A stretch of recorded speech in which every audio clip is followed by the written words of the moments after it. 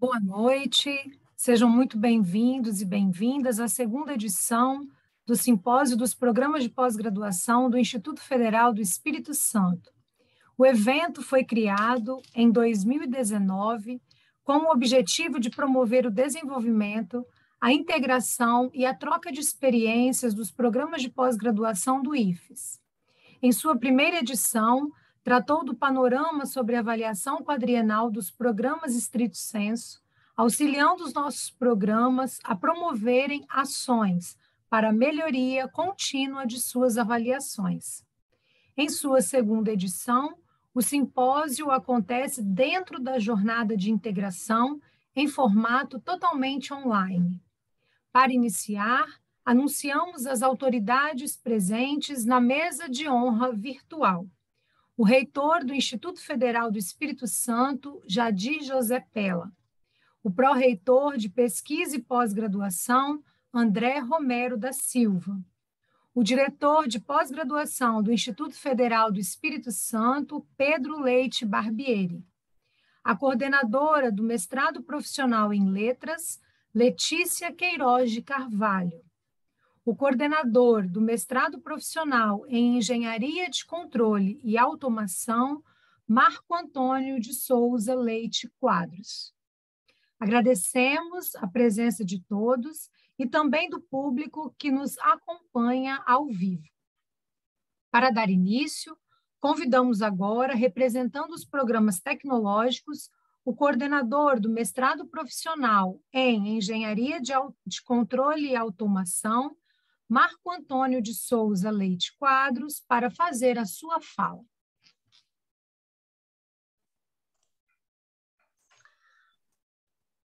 Boa noite a todos. É, Para mim é uma grande honra poder estar aqui representando uh, o mestrado em agroecologia, mestrado em computação aplicada, mestrado em engenharia de controle de automação, mestrado em engenharia metalúrgica e de materiais, o mestrado profissional em química e o mestrado profissional em tecnologias sustentáveis. É, gostaria de sinalizar, nesse momento, que um evento como este é muito importante para que todos os alunos, os professores possam se integrar, conhecer um, um pouco o trabalho do outro, e dessa forma dar uma energia né, para a melhora dos programas eh, de pós-graduação. É importante também destacar que eh, neste segundo evento, neste segundo simpósio, muitas coisas melhoraram.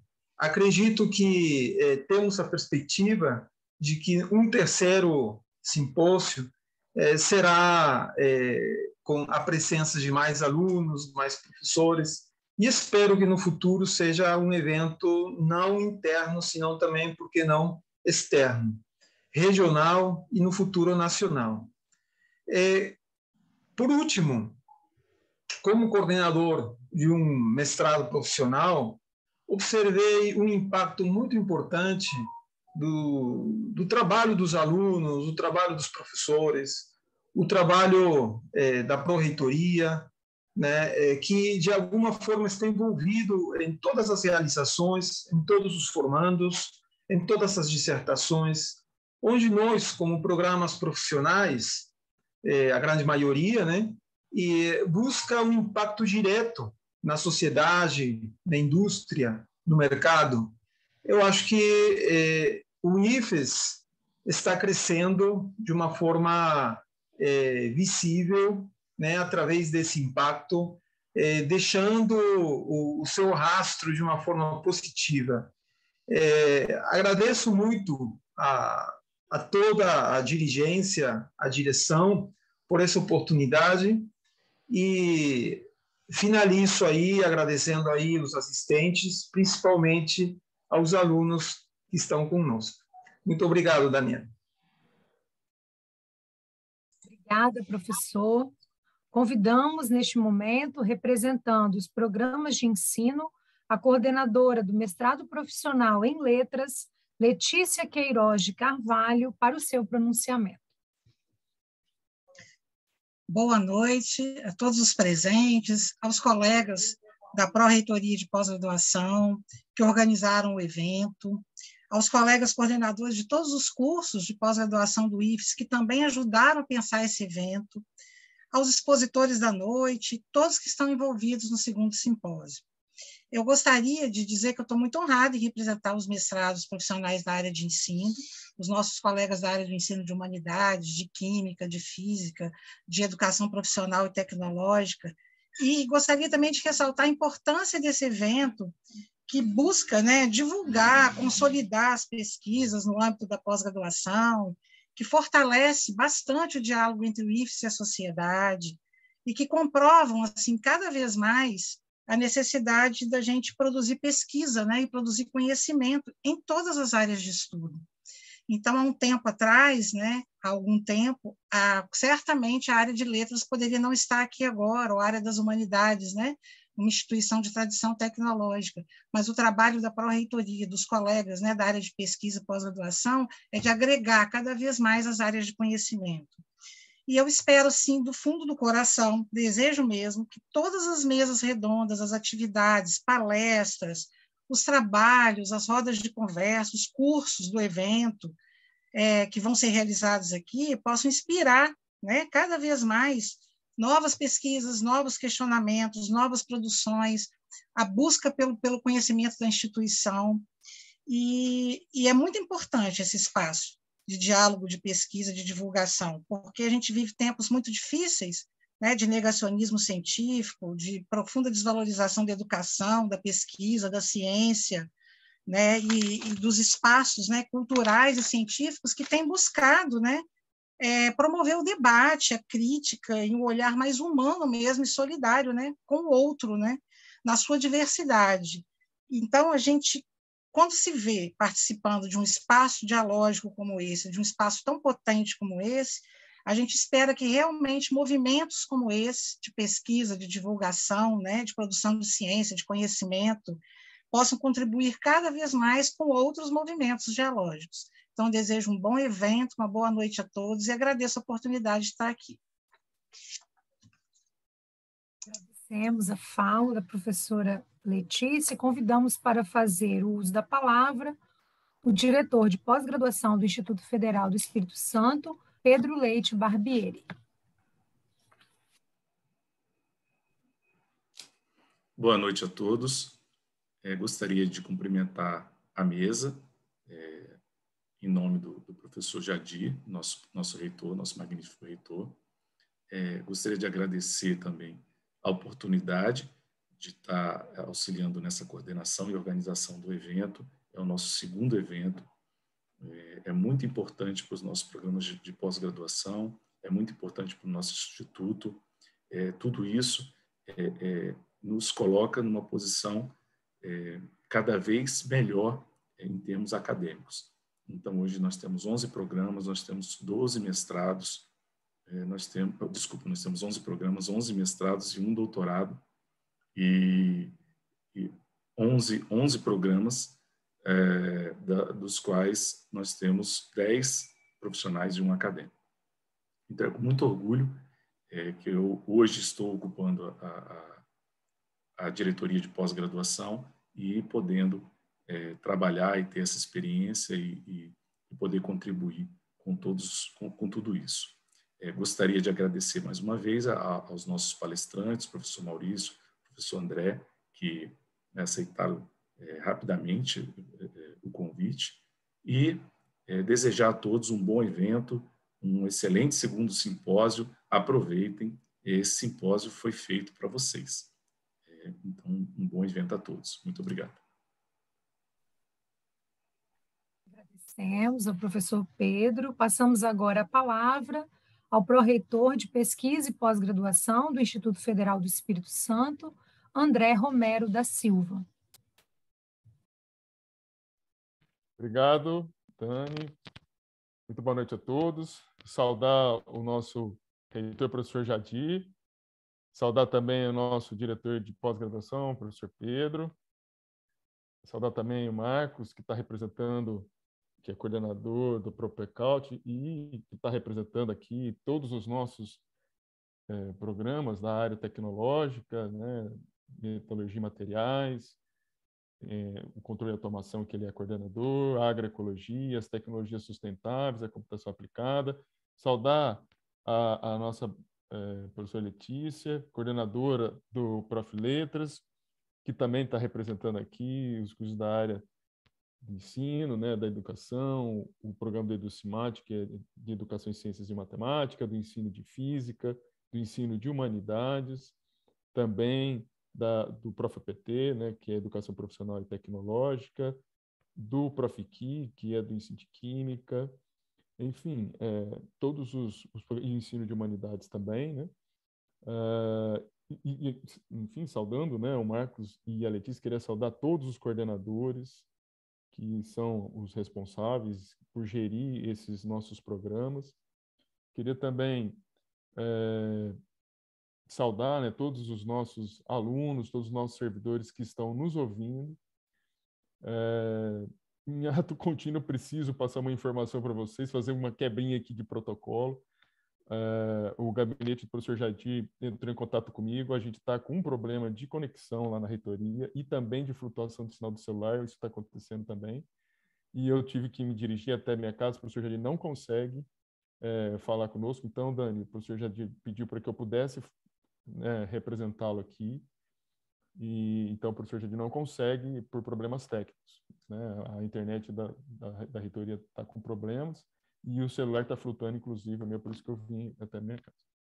Bem, eu, eu gostaria aqui, né, continuando aqui a minha fala, depois do agradecimento, dizer que esse momento também, como os outros colegas aqui já expressaram, é de muita importância para nós aqui da nossa instituição, uma instituição né, que possui esses 12 cursos, 11 programas, são 11 programas recentes, né, relativamente recentes, que no espaço aí de 12, 13 anos, nós saímos de um programa para nós termos 11 programas, que vem evoluindo ao longo desse, desse tempo, que estão em fase, alguns já né, com um amadurecimento é, bastante importante, outros em fase de amadurecimento, e que cabe né, aqui é, a gente fomentar essa discussão do conhecimento daquilo que os programas vêm desenvolvendo e também para que nós aqui é, da Pró-Reitoria é, possa trabalhar né, no sentido de melhorar os programas dentro dos auxílios, no desenvolvimento de novos programas também, é, e em função né, de tudo que vocês vêm fazendo, até para atingir os indicadores que a CAPES vem exigindo em todos os programas do Brasil.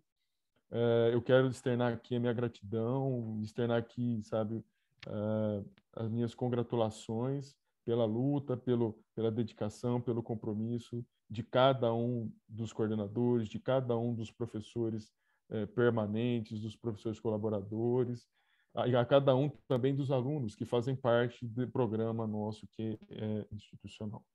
Eh, eu finalizo aqui agradecendo né, a todos e desejando que o segundo simpósio seja um simpósio de sucesso, de muita discussão e também de muito crescimento é, pessoal e profissional. Felicidade a todos. Deixo aqui um grande abraço do nosso reitor, que por problemas técnicos não vai poder falar. Boa noite a todos. Agradecemos a fala do professor André Romero. É, registramos que o professor Jadir, o reitor do Instituto Federal do Espírito Santo, estava presente quando iniciamos aqui a sala, mas como André já disse, por motivos técnicos, né, foi preciso, não conseguiu permanecer na, nessa conexão. Agradecemos aos participantes da mesa é, e seguimos agora para a palestra de abertura com o tema Pesquisa e pós-graduação em tempos pós-pandemia. Para esse momento, convidamos o primeiro palestrante do nosso simpósio, filósofo e educador, professor de Filosofia da Ciência do Departamento de Filosofia da Universidade Federal do Espírito Santo e do mestrado profissional em Ensino de Filosofia. Graduado em Filosofia pela Universidade Católica de Minas Gerais, mestre e doutor em Educação pela Universidade Federal do Espírito Santo, professor Maurício Abdala. Seja muito bem-vindo, professor Maurício. Agradecemos, em nome da organização do evento, a sua presença e a contribuição com o nosso simpósio. Fique à vontade para iniciar a sua fala. Muito obrigado. Eu queria inicialmente é, saudar toda a mesa por meio do uma saudação ao, ao magnífico reitor, o professor Jadir, ah, e também na pessoa do pró-reitor, o André, e também do diretor de pós-graduação, Pedro, que me fez o convite para estar é, compartilhando algumas reflexões com vocês desses tempos tão, tempos tão obscuros que não afeta só a, as, os debates e as discussões na sociedade civil, mas também é, resvalam para o campo da pesquisa e da ciência.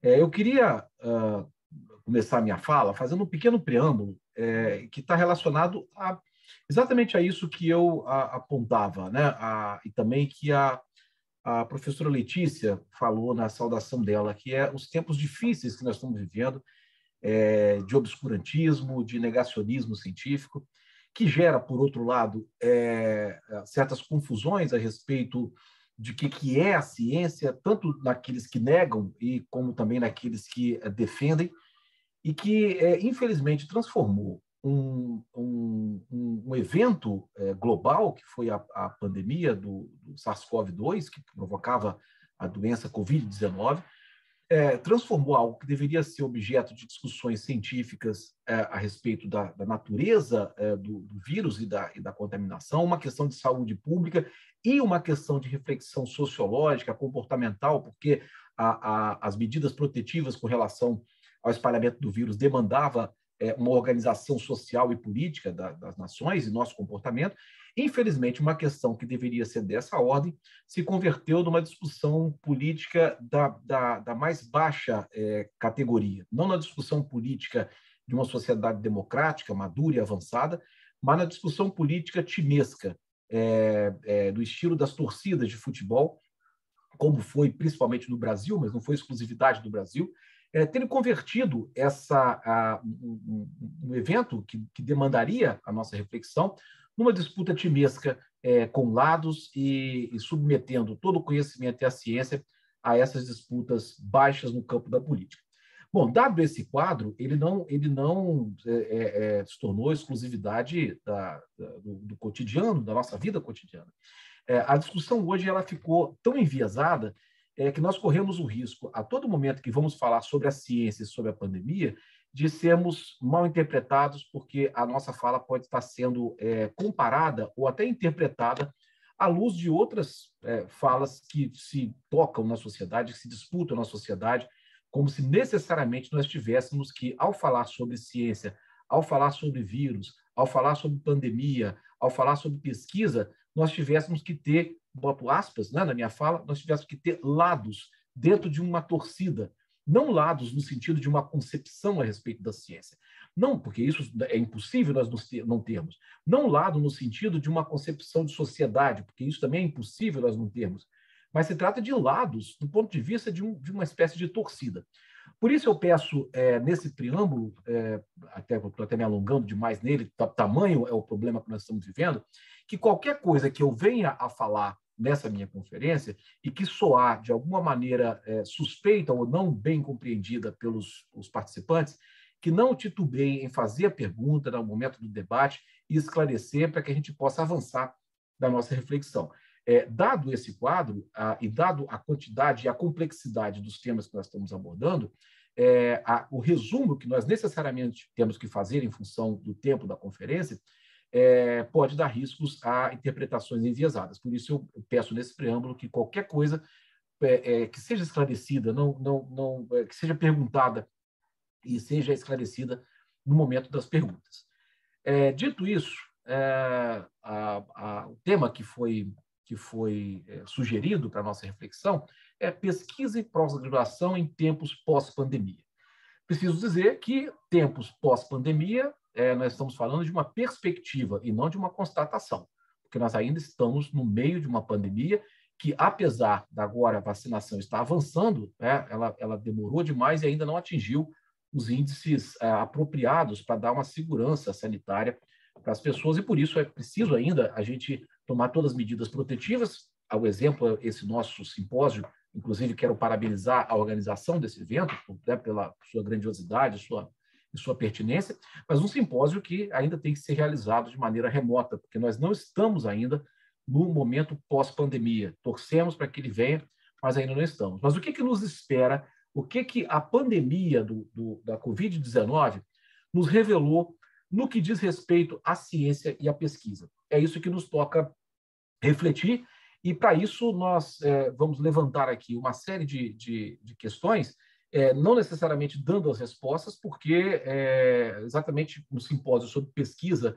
é, e pós-graduação significa que quem vai buscar as respostas, ou quem, quem tem o caminho para buscar as respostas, são aqueles que estão envolvidos na pesquisa e na pós-graduação. Então, nós vamos levantar um conjunto de elementos que nos chama a reflexão e que pode apontar para caminhos, é, não só para nós, dentro do ambiente acadêmico, mas para toda a sociedade, dado que a ciência hoje é, já era, né? mas a, a, agora mais ainda passa a fazer parte do, do, nosso cotidiano, mesmo fora do ambiente acadêmico, mesmo fora dos laboratórios, mesmo fora do espaço em que tradicionalmente a ciência é feita.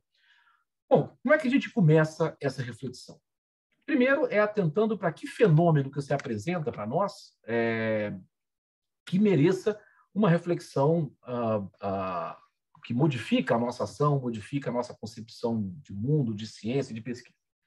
O fenômeno objetivo, todo mundo sabe, é, só para aqui poder é, é, é, didaticamente ressaltar, é que um vírus novo, que foi chamado de SARS-CoV-2, né, o, o, vírus da síndrome, o coronavírus causador da síndrome de é, é, insuficiência respiratória aguda grave, modificado, por isso o 2, causando uma doença nova, foi chamada de Covid-19, a doença desse coronavírus, que se espalhou por todo o mundo, adoeceu, deixou sequelas e matou milhões de pessoas.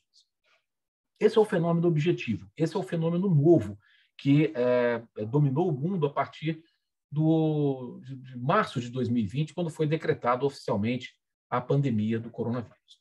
Aí, bom, sobre esse fenômeno objetivo, né, a gente analisa, pelo aspecto do conhecimento, quais ordens de reflexão são, são, são necessárias a gente fazer sobre esse fenômeno objetivo. Eu destaco aqui duas ordens de reflexão possíveis dentro do ambiente acadêmico, dentro do ambiente do conhecimento.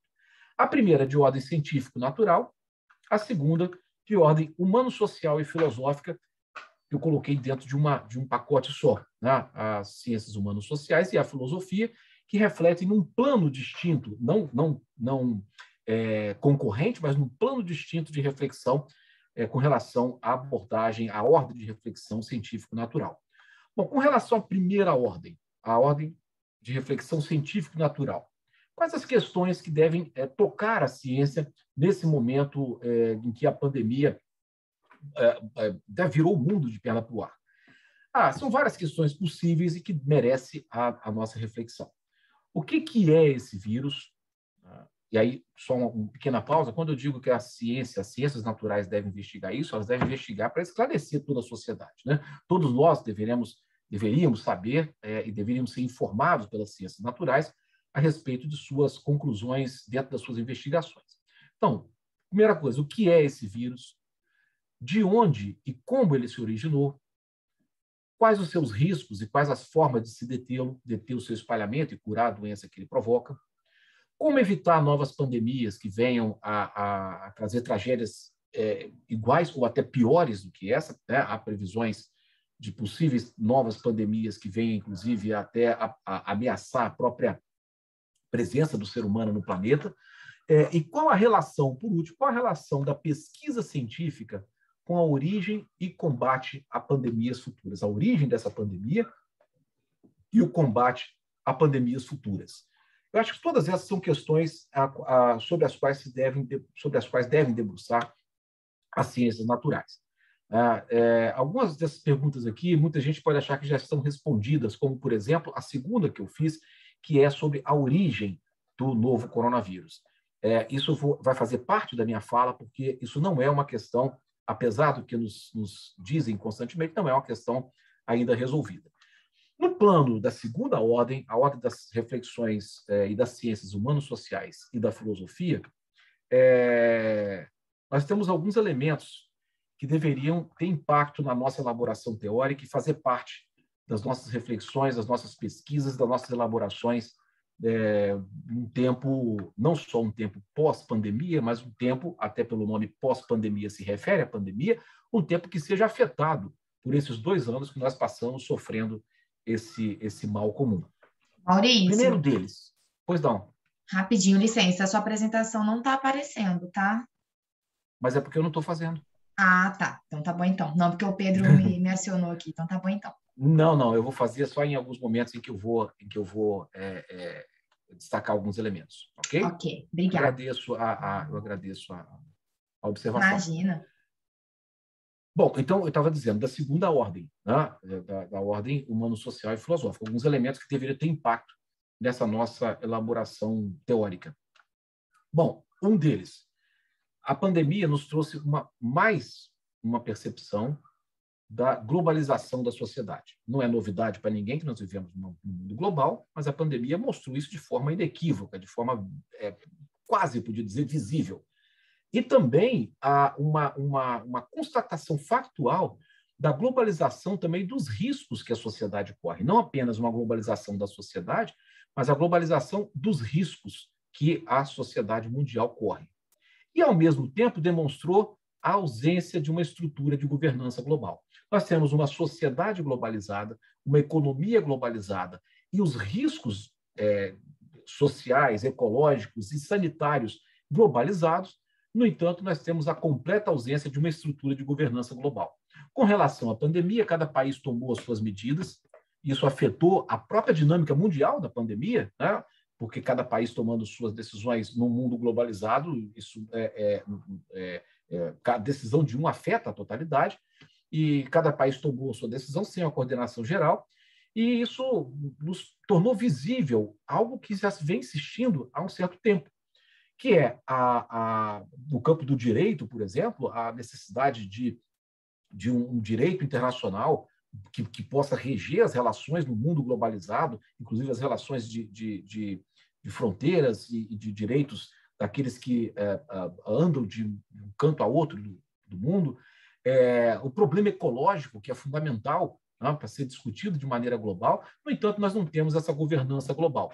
Isso não é nenhuma novidade, no entanto, a pandemia parece que mostrou é, de forma factual essa necessidade de pensarmos a, a, os problemas da sociedade de maneira global e a necessidade de pensarmos também numa governança global e de uma sociedade realmente global. Nós temos a integração das sociedades do ponto de vista do contato, mas não temos a integração da sociedade ou dos povos no sentido de formar realmente um tecido social global. O segundo tema importantíssimo, que deveria também ser é, fazer parte dos nossos, dos nossos estudos, é a, o fato de que as desigualdades mundiais ficaram tão à mostra que deixaram de ser elemento do discurso, um elemento para fundamentar certas concepções, para se firmarem como números e estatísticas objetivas, sobre as quais as ciências humanas e as ciências sociais precisam se debruçar. Ou seja, se dá um passo a mais na discussão a respeito da desigualdade social e daquele, de, de, do que, que o sistema mundial atual é, é, é, provoca em termos, de, em termos humanitários. Porque antes, até um certo momento, para alguns, todo o discurso da desigualdade, todo o discurso dos problemas sociais fazia parte apenas de certas concepções teóricas, porque é, é, é um elemento do discurso. Agora é impossível ah, você fazer ciência, você fazer é, é pesquisa do campo da, da, das ciências humanas sociais sem ter as desigualdades como dado objetivo. Isso a pandemia mostrou de uma forma inequívoca. É, não é que ela criou, mas ela deu essa, lançou uma luz fortíssima a ponto de ser hoje é, tratar essas, essas insuficiências do sistema não mais como uma pequena falha pontual, mas como dado objetivo das consequências da maneira como nós estamos organizando o mundo hoje. E isso, consequência disso, vem a, falsificação factual também do discurso de um mercado autossuficiente e capaz de sanar todos os problemas da sociedade.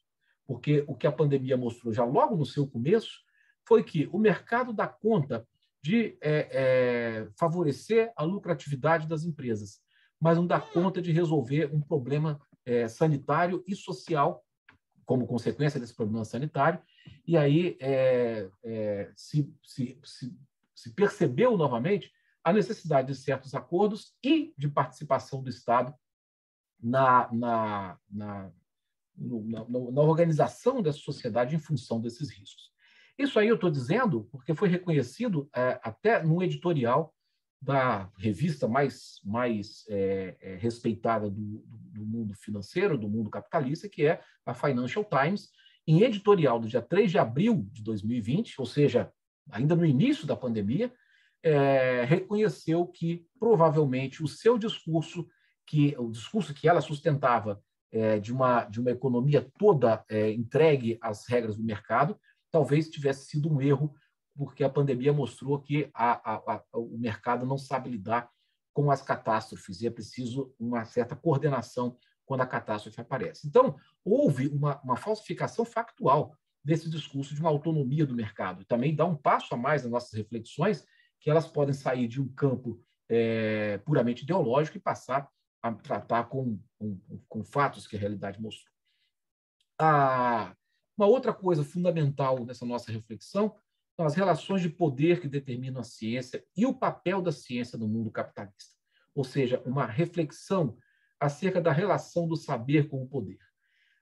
Francis Bacon, na sua obra O Novo Órgão, de 1620, ele estabelece no terceiro aforismo, ele diz, uh, saber e poder humano são sinônimos. E ele defendia a ideia de que o poder decorre do saber. Quanto mais nós sabemos, mais nós criamos um poder sobre a natureza e melhoramos a sociedade. O que a história mostrou, e agora uh, eu vou tentar, uh, no, tempo que me, que, que me cabe, uh, argumentar um pouco mais disso, o que foi mostrado foi que as grandes indústrias, as grandes, os grandes laboratórios que possuem o poder econômico e controlam o poder político, é que hoje têm determinado o saber de forma muito mais, mais é, com muito mais força hoje do que em qualquer outra época.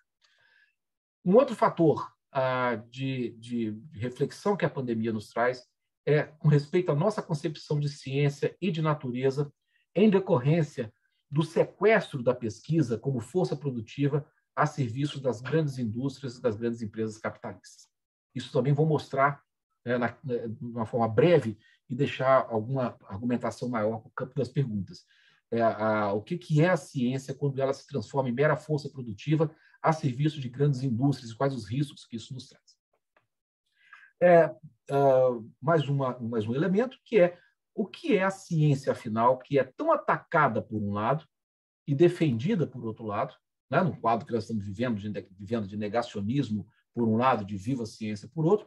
O que, que é a ciência, afinal? Que é, por um lado, atacada, por outro, defendida, porém, eu posso afirmar, e, e depois podemos debater sobre isso para que eu possa fundamentar mais, ela é tão pouco compreendida, tanto por aqueles que atacam, tanto por aqueles que a defendem. A ponto de nós termos é, uma visão binária, uma visão dicotômica de ou você diz que a ciência é a causa de todos os males, ou você diz que a ciência é a luz é, divinal que brilha sobre os homens e que deve ser acatada incondicionalmente em todas as suas, as suas formas. Para evitar esses dois extremos, é necessário que a gente se pergunte cada vez mais ao fazer ciência e pesquisa, o que é ciência e o que é pesquisa. E, por último, nesse quadro é, inicial de, de, de, de elementos né, de reflexão nessa ordem humano, social e filosófica, é, em que medida o negacionismo político da ciência, essa é uma questão seríssima, seríssima e, e, e, e delicada, né? mas a pergunta é, em que medida o negacionismo político da ciência se une ao negacionismo dos discursos acadêmicos pós-modernos sobre a ciência. Queria muito poder refletir isso de forma mais extensa, no entanto, o tempo não, não permite, mas lembrem-se que antes da palavra narrativa para se referir às falas da ciência, às conclusões dos especialistas, que hoje está na boca da extrema-direita negacionista e obscurantista, essa palavra, antes de estar lá, esteve na, nas elaborações de uma filosofia, de uma sociologia pós-moderna, que defendia que a ciência era apenas uma narrativa entre as outras e que, como tal, não poderia é, se arrogar nenhum, nenhuma, nenhum caráter de veracidade maior do que as outras narrativas. Bom, é preciso investigar de que maneira isso se une ao fato de hoje você ter pessoas negando os especialistas, negando a ciência, negando os cientistas no caso da pandemia, curiosamente usando o mesmo termo que virou um lugar comum na fala da extrema-direita, que é a sua narrativa e sua mera narrativa. Isso é uma questão que eu não vou poder trabalhar, mas gostaria muito que as nossas pós-graduações, que são o celeiro dessas discussões, é, é, é, de uma certa forma, um, certo negacionismo acadêmico da ciência, é, discutir de que maneira nós estamos contribuindo, ou podemos contribuir, ou, ou podemos ter contribuído com o negacionismo científico popular. Bom, essa, essas duas ordens de reflexão, a científico-natural e a que eu aglutinei no termo humano, social e filosófica,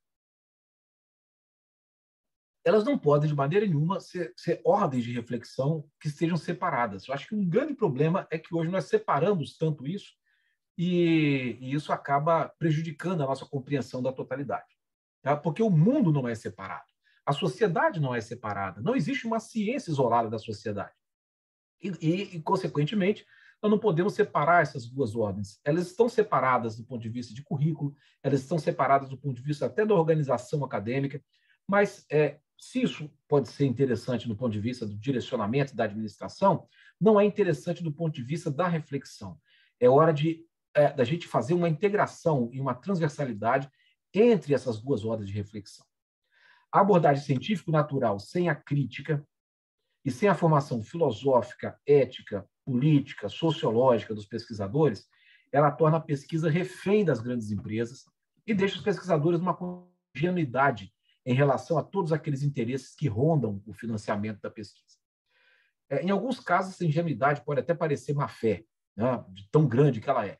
Mas, em muitos casos, é ingenuidade mesmo, exatamente por a falta dessa formação ética, política, sociológica de muitos pesquisadores. E acaba se tornando, tornando não só a, a, o seu trabalho, mas a própria ciência refém de interesse das grandes empresas que conseguem financiar a pesquisa. É, e a credulidade ingênua numa uma ciência como instituição separada da sociedade, limpinha, que sempre tem boas intenções, que é uma ideia que vem desse ideal de Bacon, sobre o qual seria interessante a gente estudar um pouco, né? o ideal de uma ciência sem sujeito, essa visão, essa credulidade ingênua na ciência, é, que às vezes é o, é o, lado, o extremo oposto do negacionismo, ela acaba por não entender os poderes que estão por trás da pesquisa científica na atualidade, tanto a pesquisa teórica como a pesquisa aplicada. A, o Bacon ele tinha a ideia de que é, era possível fazer uma ciência sem sujeito como forma de libertar o ser humano dos poderes do tempo feudal. No entanto, assim que se configurou um novo sistema econômico no mundo, substituindo o feudalismo, o sistema capitalista, a, a ciência passa a, a, a, ser concebida só como uma força produtiva é, dentro da, da, da, indústria, né? dentro da, da é, do processo de produção e de obtenção de lucros, e, e perde todo o seu caráter de desbravamento da, da, natureza, todo o seu caráter de produção do conhecimento. Ah, um exemplo rápido disso é a, o quanto a ciência teórica é, é, ela é desprezada hoje, quanto a ciência aplicada é sobrevalorizada, desde que ela possa apontar alguma aplicação no ponto de vista empresarial, do ponto de vista industrial. É, é, e, inclusive até a confusão de ciência, que é uma área de conhecimento, ciência é uma forma de conhecimento da natureza, a confusão disso com tecnologia, que é a aplicação prática para um fim do conhecimento científico. São duas coisas que se juntam, mas são duas coisas distintas. No entanto, hoje nós criamos até uma sigla, CIT, pra, e parece que está se referindo a exatamente a mesma coisa. A, a dimensão tecnológica da ciência tragou a ciência teórica, tragou a ciência como conhecimento do mundo, do mundo natural. Então, ela tem que estar junta, essas duas ordens de reflexão, para ajudar nessa primeira abordagem, nessa primeira, é, é, é, nesse primeiro apontamento, a abordagem científico-natural fica deficiente sem a, a de ordem humana, social e filosófica, mas, por outro lado, o desconhecimento da ciência real, das tecnologias, das ciências naturais e do funcionamento da natureza, que é desvendado por essas ciências, leva a filosofia e as ciências humanos-sociais a especulações sem base científica e tira também a nossa capacidade de interrogar corretamente sobre a pandemia. Muito do que se tem falado sobre a pandemia, é, às vezes tem as, as, elaborações muito interessantes, muito bonitas, muito até, até coerentes do ponto de vista interno, do ponto de vista da sua apresentação lógica. Mas tem problemas quando se tenta é, é, é com ciência real. E aí vem algumas ideias como ah, o vírus aparece como uma vingança da Terra em função do seu desmatamento, ah, o, o, vírus é resultado de um desmatamento que fez com que o vírus fugisse da mata e fosse, e fosse contaminar o ser humano. Há outras que falam que o vírus é um projeto de controle do Estado, ou seja, do poder sobre os corpos e querendo disciplinar os corpos, soltar os vírus. Aparece uma série de, de, de, de proposições, algumas é, parecem conspiração, outras é, são simplesmente uma reflexão pertinente, no entanto, não sabe como é que o vírus funciona. Pouco sabe como é que um vírus de fato funciona, o que, é que está envolvido no surgimento de novos vírus. O vírus não é um bichinho que sai da floresta para poder, é, como o caso da onça. Né? A onça, se você desmatar uma mata, você derrubar uma mata, a onça que comia e vivia na mata, ela sai da mata vai comer o boi, vai comer a galinha que está no seu, no seu quintal, ou se você estiver ali no momento errado, ela vai comer até você, embora pareça que a, o, o, ser humano não seja o prato preferido da onça. Mas se precisar, ela vai comer o ser humano. Mas para isso ela não precisa de nenhuma mutação muito grave. Ela come carne. E se não tem carne na mata, você derrubou a mata, ela vai comer a carne do seu galinheiro. Ela vai comer a carne do seu, do, do, do seu átrio, do seu, do seu pasto, ou até a sua carne. Mas a questão é que um vírus, para poder sair de, um, de uma espécie e ir para outra, entra uma, uma, uma, uma necessidade de é, centenas de, de, de, de, mutações que não são simples. Não basta você derrubar a floresta que o vírus sai contaminando outros animais. É, e esse desconhecimento das ciências naturais faz o campo das ciências humanas e sociais e da filosofia, às vezes, fazer discurso sem, é, é sem lastreá-lo no conhecimento científico. Tá? É, e, e, acaba não sabendo, por exemplo, como que a ação humana pode ser perigosa nesse campo da microbiologia. Aqui eu queria dar um exemplo sobre isso, eu, eu não, não, posso deixar de mostrar alguns exemplos é, de como tudo isso se, se mistura e como que a ciência tem sido hoje é, submetida a uma a, a grande indústria, principalmente a indústria de biotecnologia, e como que isso afetou o nosso conhecimento da pandemia e até a nossa capacidade de pensar a pandemia. Eu vou tratar com um exemplo e depois tirar algumas reflexões desses exemplos. Ah, e o ponto central é a origem desse novo coronavírus, o coronavírus que foi chamado de SARS-CoV-2. Né? Ah, muita gente que está ouvindo aqui agora deve achar o seguinte, gente, mas que negócio de origem? Já foi provado que ele tem uma origem natural. Ah, é, esse, é, isso, é, é isso que se noticia, é isso que se fala na internet, é isso que se é, que aparece na, na, na imprensa, né? É, inclusive muitos citam um artigo da revista Nature que se tornou viral. E eu vou até colocar a imagem desse artigo, claro, não vou querer que vocês é, leiam aqui na tela, se eu só, se só colocar como ilustração né? o artigo da Nature que se tornou viral, inclusive, na internet. Tá? Esse, esse artigo publicado em março de 2020, 17 de março de 2020. É, eu queria recordar que a, a, a OMS decretou a pandemia mundial do coronavírus, do novo coronavírus, da Covid-19, que é a doença que, que ele causa, é, em 11 de março de 2020. Logo, a, o, o artigo de março de 2020 trazia uma reflexão a respeito de uma possível é, origem natural do vírus e, e, de fato, havia uma, uma, uma, grande, uma grande ânsia e necessidade de dizer, olha, o vírus tem uma origem natural, encerra a conversa. Esse artigo, ao contrário de todos os artigos científicos, né, é, ele, é, ele se tornou popular.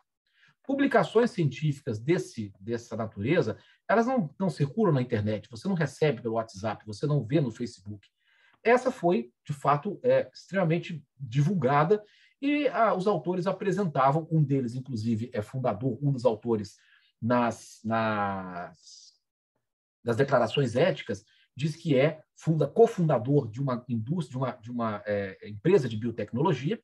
É, ele se apressava em afirmar que é possível que o, o, o SARS-CoV-2 tenha surgido de mutações e criam um cenário em que mutações localizadas em algumas partes eh, poderiam estar fazendo passar do coronavírus do morcego para um coronavírus que infecta o ser humano, porque essa passagem não é muito, muito tranquila, eh, infectar o ser humano e que isso pode, ser, pode ter sido uma, um evento natural. Bom, a partir desse artigo, todo mundo falou: já está resolvida a questão, o resto é teoria da conspiração. Tá? E a mídia bateu muito nisso. E todo mundo, né? Então, se você falar hoje que é, não se sabe, olha a afirmação, não se sabe ao certo a origem do vírus, vão dizer, você está fora da ciência porque tem um artigo que já provou isso. A questão é que, é, um tempo depois desse artigo, isso em, aqui está mostrando, em setembro de 2020, já com pesquisas mais avançadas, é, vários autores escreveram na, no Journal of Medical Virology, uma revista também científica, fizeram ah, questões acerca daquele artigo, dizendo que ele não respondia uma série de questões que depois foram colocadas, como, para resumir, o fato de que as mutações necessárias para que esse coronavírus é, se, se, diferenciasse do coronavírus de morcego eram, eram, duas básicas, né? A mutação na proteína S, que é a proteína spike, que é onde o, o, o vírus é aquela proteína que tem no vírus que se conecta a uma célula, permitindo a entrada dele em algumas células e não em outras, diz, olha, esse, essa mutação é, é, é, ela está relacionada a uma sequência genética que não é o que eles chamam de hotspots, que é hotspot é um, um, um site, um lugar, né, uma parte do genoma que é, é sensível à mutação, ali que as mutações ocorrem e se espera que elas ocorram, e essa, essa, essa, essa, essa parte que codificava a proteína spike, essa modificação da proteína spike, não era um hotspot, então não tava, não era o local onde se esperaria mutações é, aleatórias ou naturais. E uma outra, um outro detalhe é a capacidade desse vírus poder ser reproduzido no interior da célula por uma proteína chamada furina. É, era preciso uma mutação que desse a ele também a possibilidade de, de usar a furina para se reproduzir dentro da célula. E esse artigo mostra que as duas mutações não são é, prováveis e nem são esperadas por uma mutação natural, inclusive com outras pesquisas posteriores. O artigo, se vocês quiserem, né, eu posso dar um jeito de passar para quem, quem, quem entender ou quem quiser conferir. Esse artigo não se tornou viral. Né? Ele cria questões, mas mais adiante, em novembro de 2020, mais adiante, saiu um artigo também numa revista extremamente conceituada, Proceedings of National Academy of Science dos Estados Unidos, é, em que o autor ele diz, olha, é, para parar para deter, para evitar a próxima pandemia, nós precisamos revelar a origem da Covid-19. Tá?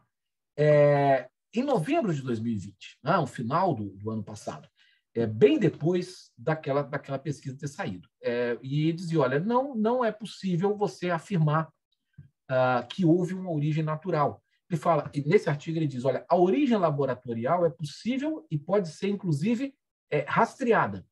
A origem natural é uma hipótese que precisa ser é, é, recheada de elementos científicos para saber como que houve essas mutações, essas duas básicas que eu citei, tanto da proteína spike como na, na sua capacidade de ser é, reproduzido pela, pela furina. É, disse, isso não é de se esperar, não há uma rota possível para que isso aconteça na natureza. E ele diz, olha, é preciso pesquisar ainda a origem. Isso em novembro de 2020. Mais ainda, é, em maio de 2021, no ano que nós estamos é, vivendo, maio de 2021, vários cientistas da revista Science, da conceituada revista Science, eu não estou pegando nenhum blog, nenhuma, nenhuma, nenhum é, é, youtuber, estou pegando revistas científicas, né, conceituadas e com revisão de pares, etc., dentro do mainstream da ciência. Né? Ah, ah, eles, é, esses autores são cientistas renomados que ah, pedem uma investigação séria independente de ideologia ou de influência das empresas de biotecnologia sobre a origem do, da Covid-19. Tá? É, eles dizem, nesse artigo, eles dizem, tanto a hipótese natural, de surgimento natural, quanto a hipótese de surgimento em laboratório, é, devem ser avaliadas com o mesmo grau de plausibilidade e de possibilidade. Tá?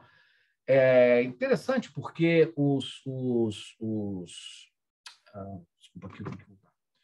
Porque mesmo depois das pessoas achando que e afirmando que ah, já havia sido provado a origem natural, é, havia ainda cientistas ah, colocando essa questão. Ou seja, no ambiente interno da ciência, havia dúvidas com relação a isso. Mas no ambiente é, externo da ciência, na divulgação da ciência, no jornalismo científico, havia a insistência, e ainda há no mundo da internet, a insistência de que isso é uma questão já provada, isso é uma questão que ninguém levanta, e ainda se cita um artigo da Nature de, do início da pandemia, dizendo que isso já foi provado. A OMS teve, fazendo, mandou uma equipe é, para fazer a investigação, não chegou a uma conclusão, disse apenas da sua maior probabilidade de ter sido natural, baseado em critérios que podem ser questionados. O caso é que ainda não se sabe. Ainda não se sabe. E é isso que nós devemos reter. Ainda não se sabe. O que cada um acha, o que cada um pensa, é irrelevante quando se trata de ciência. Quando se trata de ciência, é preciso saber é, traçar uma cadeia causal de acontecimentos que possa comprovar que determinado resultado é efeito de determinadas causas. O que simplesmente se fala é cientistas acreditam é mais possível, isso não tem muita, muita razão na ciência. No entanto, a, a reflexão eu quero conduzir colocando essa é, é, indefinição acerca da origem do coronavírus, do novo coronavírus. Tá? Por que esse, esse rebuliço em torno da origem de um vírus que deveria ser uma questão científica? O problema é que aqueles que dizem, tirando todos aqueles que é, não estão é, por dentro do, do, fazer concreto da ciência, tirando é, todas as as especulações meio fictícias a respeito de como se produz vírus, né? Tirando tudo isso, o que se sabe, o que se sabe é que, sabe pelos artigos científicos, que a indústria de biotecnologia, a indústria de fármacos e biotecnologia, o tempo todo patrocina, financia, investe bilhões na criação de novos vírus. Vírus chamado vírus quimera. São vírus que têm partes distintas, de vírus distintos, para poder fazer vírus novos e fazer infectar células é, humanas ou células de animais que respondem de maneira é, semelhante às células humanas, como o furão a, é, e algumas espécies de ratos. É, eles infectam e fazem isso o tempo todo. E especialistas em biossegurança já têm advertido em revistas científicas o tempo todo que isso poderia gerar uma pandemia. Tá? Eu vou tentar resumir a coisa para não parecer muito conspiratória. Ah, os especialistas em biossegurança diziam o tempo todo: olha, é preciso suspender essas pesquisas porque você não tem controle de um microorganismo tão pequeno como um vírus. A possibilidade dele sair de um laboratório, escapar de um laboratório ou contaminar um pesquisador e acabar criando uma pandemia é, é tão grande que é quase uma certeza, disse um especialista em biossegurança na revista Nature, dizendo que é quase uma certeza. Outro diz que é uma questão de tempo. Dizia isso tudo antes da pandemia do, da Covid-19 ah, foi feita, inclusive, uma moratória, foi decretada uma moratória nos Estados Unidos, mandando suspender essas pesquisas. A argumentação da indústria de biotecnologia era: olha, nós precisamos conhecer novos vírus para poder criar novas vacinas, caso uma pandemia apareça, nós já tenhamos o conhecimento necessário para poder combatê-la. Outros que são contra diziam: o risco de você criar uma pandemia é muito grande e não, não, não compensa, esse risco não compensa o que pode se obter de conhecimento. Esse debate acontecia, tanto que foi decretado a moratória e depois suspensa. Havia essa discussão sobre o controle ou a proibição desse tipo de pesquisa. Bom, a questão é: eu sei de onde veio o vírus? Não, e ninguém sabe. Bom, a não ser é, alguém que esteja lá e que, que presenciou esse momento. Mas a, a, a, a afirmação ou a descoberta ou a comprovação de uma origem laboratorial levantaria ah, uma barreira na pesquisa científica patrocinada pelas grandes indústrias de biotecnologia que impediria os seus lucros. Resumindo toda a história, é, o que eu quero dizer é que uma reflexão que deveria ser científica e necessária, como disse aquele autor da revista do, PN, da, do artigo na PNAS, falou para parar novas pandemias, nós precisamos saber a origem. Mas a pesquisa sobre origem está bloqueada pelos interesses da grande indústria, pelos interesses das gigantes de biotecnologia, que, de fármacos e biotecnologia, que inclusive apareciam já em 2019. É, cinco delas apareciam na lista das 100 empresas mais lucrativas e mais rentáveis é, publicada pela revista Forbes. Cinco eram de indústria de fármacos e biotecnologia, que tinha valor reunido maior do que o PIB do Brasil, tá? o seu valor é, e passa a dominar uma discussão. Mas de que por que meios ela, ela, ela, ela controla isso? Aqui eu queria só sugerir, o tempo está passando, eu queria só sugerir uma, um outro artigo, é, se vocês conseguirem captar de alguma forma, deixa eu ver onde é que está. É, sobre o caso Serralini, tá? que é um cientista que foi obrigado, a, a, o artigo dele foi retirado de uma revista porque ele demonstrou a, a relação de causa entre o consumo de milho transgênico e a geração de tumores em ratos. A Monsanto conseguiu fazer com que esse artigo fosse retirado e eles depois conseguiram publicar numa outra revista, essa mesma aqui, a Environmental Science Europe, é, que republicou o artigo dele, e depois veio toda essa discussão acerca do caso dele. Ele foi desmoralizado do ponto de vista é, é, da, da, mídia, da, da, da, jornalismo científico, é, e, mas depois ele conseguiu recolocar o mesmo artigo numa outra revista científica. Esse artigo é fundamental para a gente ver essas relações de poder entre as grandes indústrias e o que a gente conhece e o que a gente sabe. E elas atuam por meio de uma, é, uma agência que todo mundo precisaria conhecer, uma agência de notícias é, científica, de jornalismo científico, chamado é, Science Media Center. Se vocês procurarem no Google, vocês vão ver, elas têm vários, em vários países do mundo, é uma grande agência de notícias de jornalismo científico, assim como a agência F, a Reuters, é, elas têm, são agências de notícias que distribuem para a imprensa mundial notícias a respeito de, da questão política, de questão é, social, econômica. Esse Science Media Center é a que distribui para os jornais, para os principais jornais, as notícias científicas. E ela é uma entidade bancada por grandes empresas como Coca-Cola, ExxonMobil, é, a Monsanto, e ela foi criada, segundo os próprios criadores, essa agência de notícia foi criada para é, contestar os ecologistas e aqueles que se colocavam contra os alimentos genet geneticamente modificados, contra os transgênicos. Eles disseram havia tanta coisa aparecendo na mídia contrária a isso que nós resolvemos concentrar as informações da ciência e disparar aquilo, obviamente, que vai interessar essas grandes empresas. Perguntado a respeito de se essas se o financiamento das grandes empresas não dariam não daria uma, uma, um certo viés às as notícias é, distribuídas, eles, eles diziam que não, porque são cientistas que fazem essa, essa seleção e eles conseguem ser independentes da, das fontes de financiamento. Ainda que se acredite nisso, ainda que se acredite que há pessoas tão puras que não, não, não se deixam é, em nenhum momento, que o mundo é constituído de pessoas puras que não se deixam é, influenciar pelas suas fontes de financiamento, caberia a pergunta de por que grandes empresas financiariam se as notícias estivessem é, em, em conflito com os seus interesses. Science Media Center, vocês podem procurar é, no, Google, vocês vão ver lá no site da própria empresa como que ela atua e, e vão achar artigos fazendo essa crítica à sua, à sua atuação.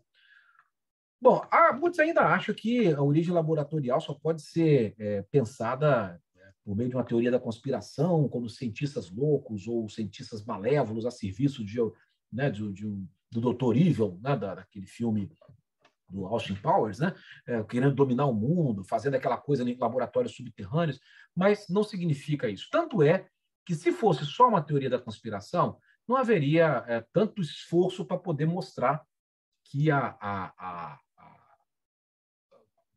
que, é que, que, não, que a origem natural ela é a, a, verdade, né? Porque seria a mesma coisa. Teoria da conspiração é terraplanismo. Ah, ah, então tem uma galera que fala que a Terra é plana, divulga na internet, tem textos, tem congressos mundiais sobre terraplanismo, tem é, revista de terraplanismo, tem várias coisas no YouTube a favor do terraplanismo, no entanto, você não vê uma revista de física escrevendo um artigo para contestar o terraplanismo. Você não vê a NASA é, organizando expedições ou investindo dinheiro em pesquisas que vão levar, é, que vão provar que a Terra é redonda. Porque a teoria da conspiração você não contesta de forma científica, você contesta por meio da divulgação. Né? Agora, a, a, a teoria, ou a hipótese, não a teoria, desculpa, mas a hipótese é, de uma origem laboratorial do SARS-CoV-2, ela teria sérias consequências tanto para o ser humano, né, para a gente poder deter próximas pandemias, entender o que, que é isso, né, é, mas também teria consequências negativas para aqueles que financiam os grandes laboratórios. Agora, a questão é, é quais os riscos né, da pesquisa microbiológica e no campo da saúde estarem nas mãos de empresas poderosas, poderosíssimas, e vou acrescentar empresas sem nenhuma ética. É, antes que alguém é, ache que estou ah, fazendo um, um, discurso negacionista da ciência, eu vou falar disso depois, mas vai que eu, é, por algum motivo, eu desapareça agora, caia a conexão ou ah, eu morra, alguma coisa assim, é, eu fico sem falar.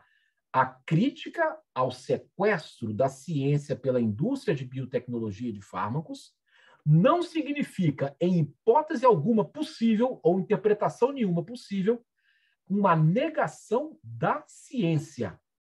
Uma coisa é a indústria e os laboratórios mantidos pela indústria e a prática da indústria que sequestrou a ciência como força produtiva.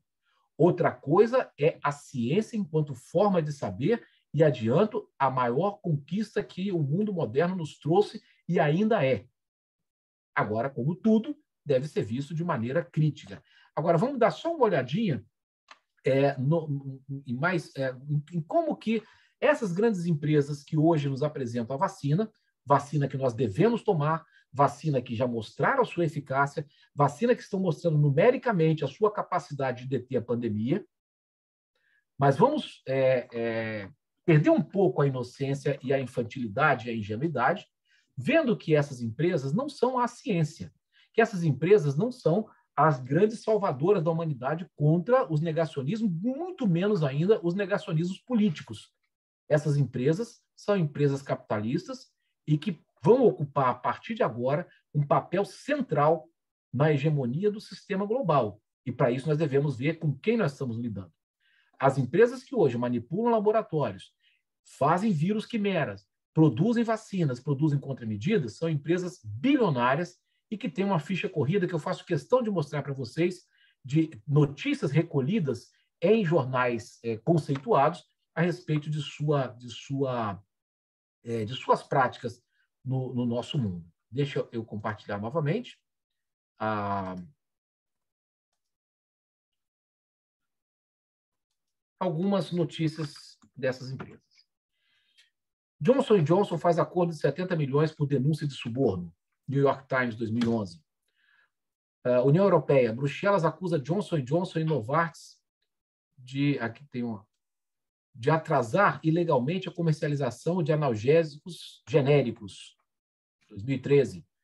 Roche, GlaxoSmithKline e Pfizer estão entre as farmacêuticas investigadas por corrupção por autoridades romenas. Novartis sob investigação por suborno na Grécia. Novartis pagará 678 milhões de dólares em acordo por acusação de suborno a médicos. Johnson Johnson pagará 2,2 bilhões de dólares em caso de fraude. Ah, nessa última matéria, informa-se que as autoridades alegam que a gigante farmacêutica Johnson Johnson ignorou as advertências da FDA e comercializou o Risperdal para idosos e crianças, enquanto pagava propina para que os médicos o receitassem. Pfizer é multada por uma década de corrupção. Uh, nessa última aqui, diz: a Pfizer foi multada em 60 milhões pelas agências reguladoras dos Estados Unidos por subornar médicos e funcionários de governos em países do leste europeu, Ásia e Oriente Médio por uma década, até 2006. GlaxoSmithKline multada em 490 milhões pela China por suborno. Investigações do Departamento de Justiça afirmam que AstraZeneca subornou terroristas iraquianos para ganhar contratos. A AstraZeneca pagará 5,5 milhões por subornar médicos na China e na Rússia. A AstraZeneca é indiciada em caso de corrupção na Sérvia. Departamento de Justiça investiga alegações de que empresas farmacêuticas financiaram o terrorismo no Iraque. Essas notícias, elas nos... O é, que que faz? Ah, alguém deve estar assim, meu Deus, o que o Maurício está falando vai dar é, lenha, ah, na, botar lenha na fogueira dos negacionistas, daqueles que estão é, com medo de tomar vacina.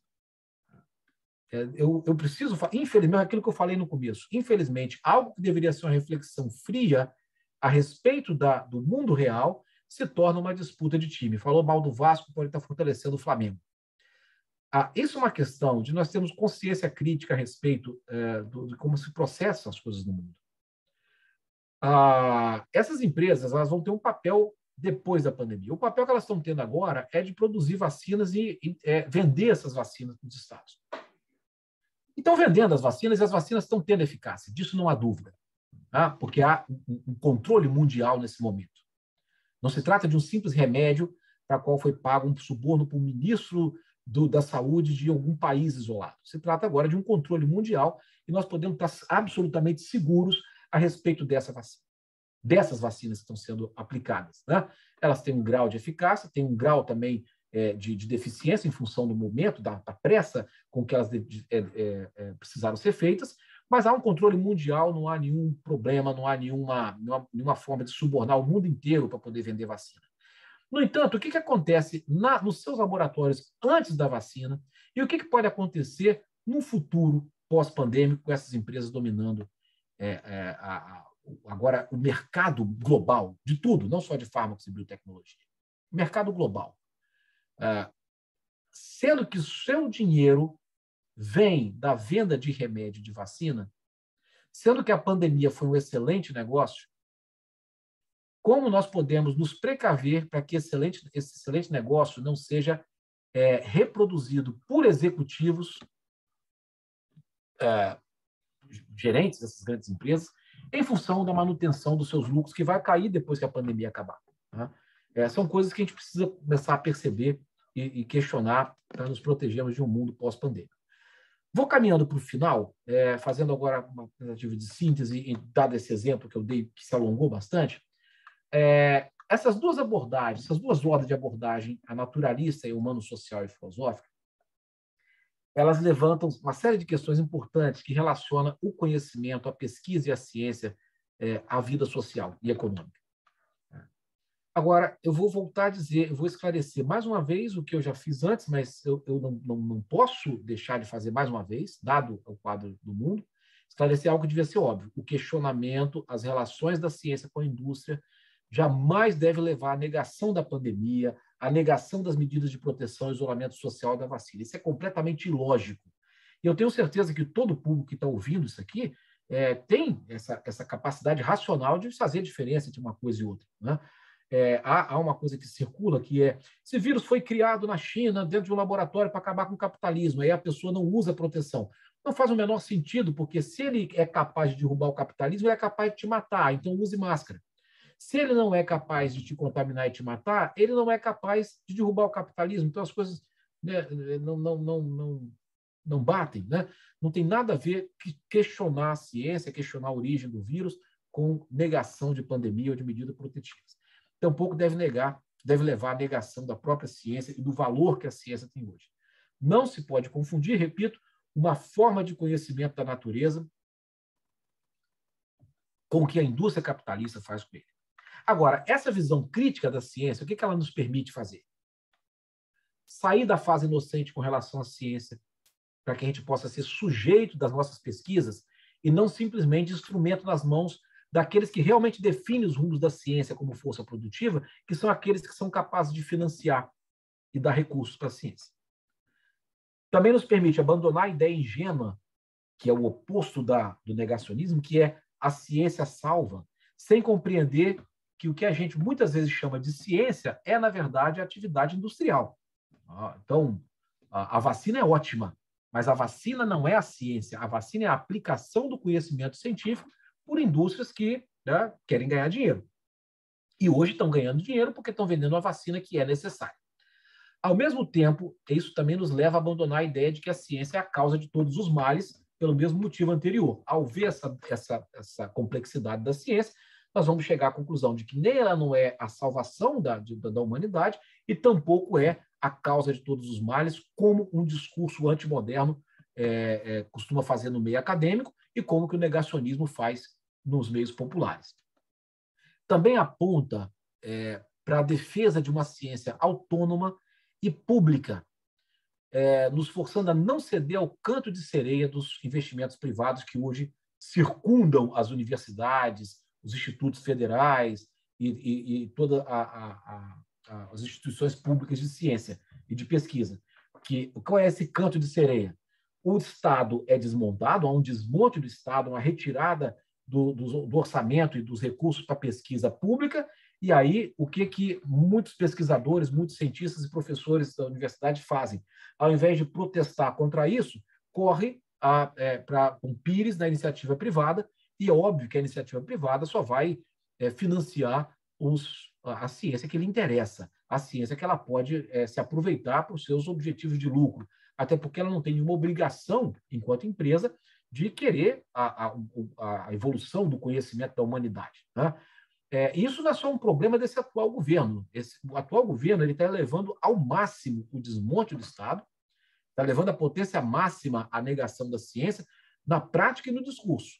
Mas, mesmo fora desse governo, há um problema de concepção sobre o papel do Estado, o papel do dinheiro público na fomentação da pesquisa. Há pessoas que defendem, e eu sou contra, se quem quiser depois defender no debate pode defender, é, defende que não é o Estado que tem que financiar a pesquisa e que a universidade e os institutos federais devem se render à iniciativa privada, não só para captar recurso aqui e ali, mas para é, financiar toda a sua atividade de pesquisa. Né? Isso é uma coisa bastante questionável, porque, volto a dizer, as empresas elas não têm compromisso, e nem se pode cobrar isso, compromisso com a evolução intelectual da humanidade ou desvendamento das forças da natureza. Se há algum tipo de pesquisa que vá de encontro aos seus interesses de lucro, essa pesquisa vai ser, é, é, é, é, não, primeiro, não vai ser financiada, e segundo, uma vez consegue ser publicada, como a Monsanto fez, retira de revistas científicas ou faz o jornalismo científico encobrir como é essa demanda e essas pesquisas que eu demonstrei aqui por revistas científicas a respeito da origem do novo coronavírus. É, encerrando, tarefas para pesquisa pós-pandemia acho que dois campos se abrem. Já quase falei, eu vou resumir, né? praticamente falei tudo, vou resumir essas tarefas. Dois campos se abrem conjuntamente, tanto para o campo das humanidades como para o campo das ciências naturais. No campo das humanidades, refletir sobre a questão comportamental. Tá? Por que, que nós não conseguimos seguir as normas de segurança em um momento de risco generalizado? Alguns podem dizer, porque nós temos um presidente negacionista. Não, mas essa, essa essa questão comportamental foi do mundo inteiro. É, não foi só negacionismo da extrema-direita. Infelizmente, é, hoje você está vendo, se só você ir na rua, você vê que a, as pessoas não estão aguardando a pandemia acabar. Por que é, a, a sociedade se comporta de forma individualista no momento que necessita de um comportamento é, global dentro de um risco generalizado? Porque só os estados que obrigaram uh, o comportamento uh, e as medidas protetivas tiveram sucesso no controle da pandemia. Uma outra questão para a gente se perguntar: por que o negacionismo? Qual a origem desse obscurantismo em pleno século XXI?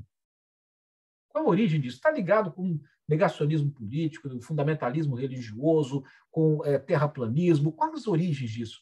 Porque isso tem implicações na nossa vida social, política, científica e tudo mais. Né? Nós temos que lidar com isso na universidade e nos institutos federais.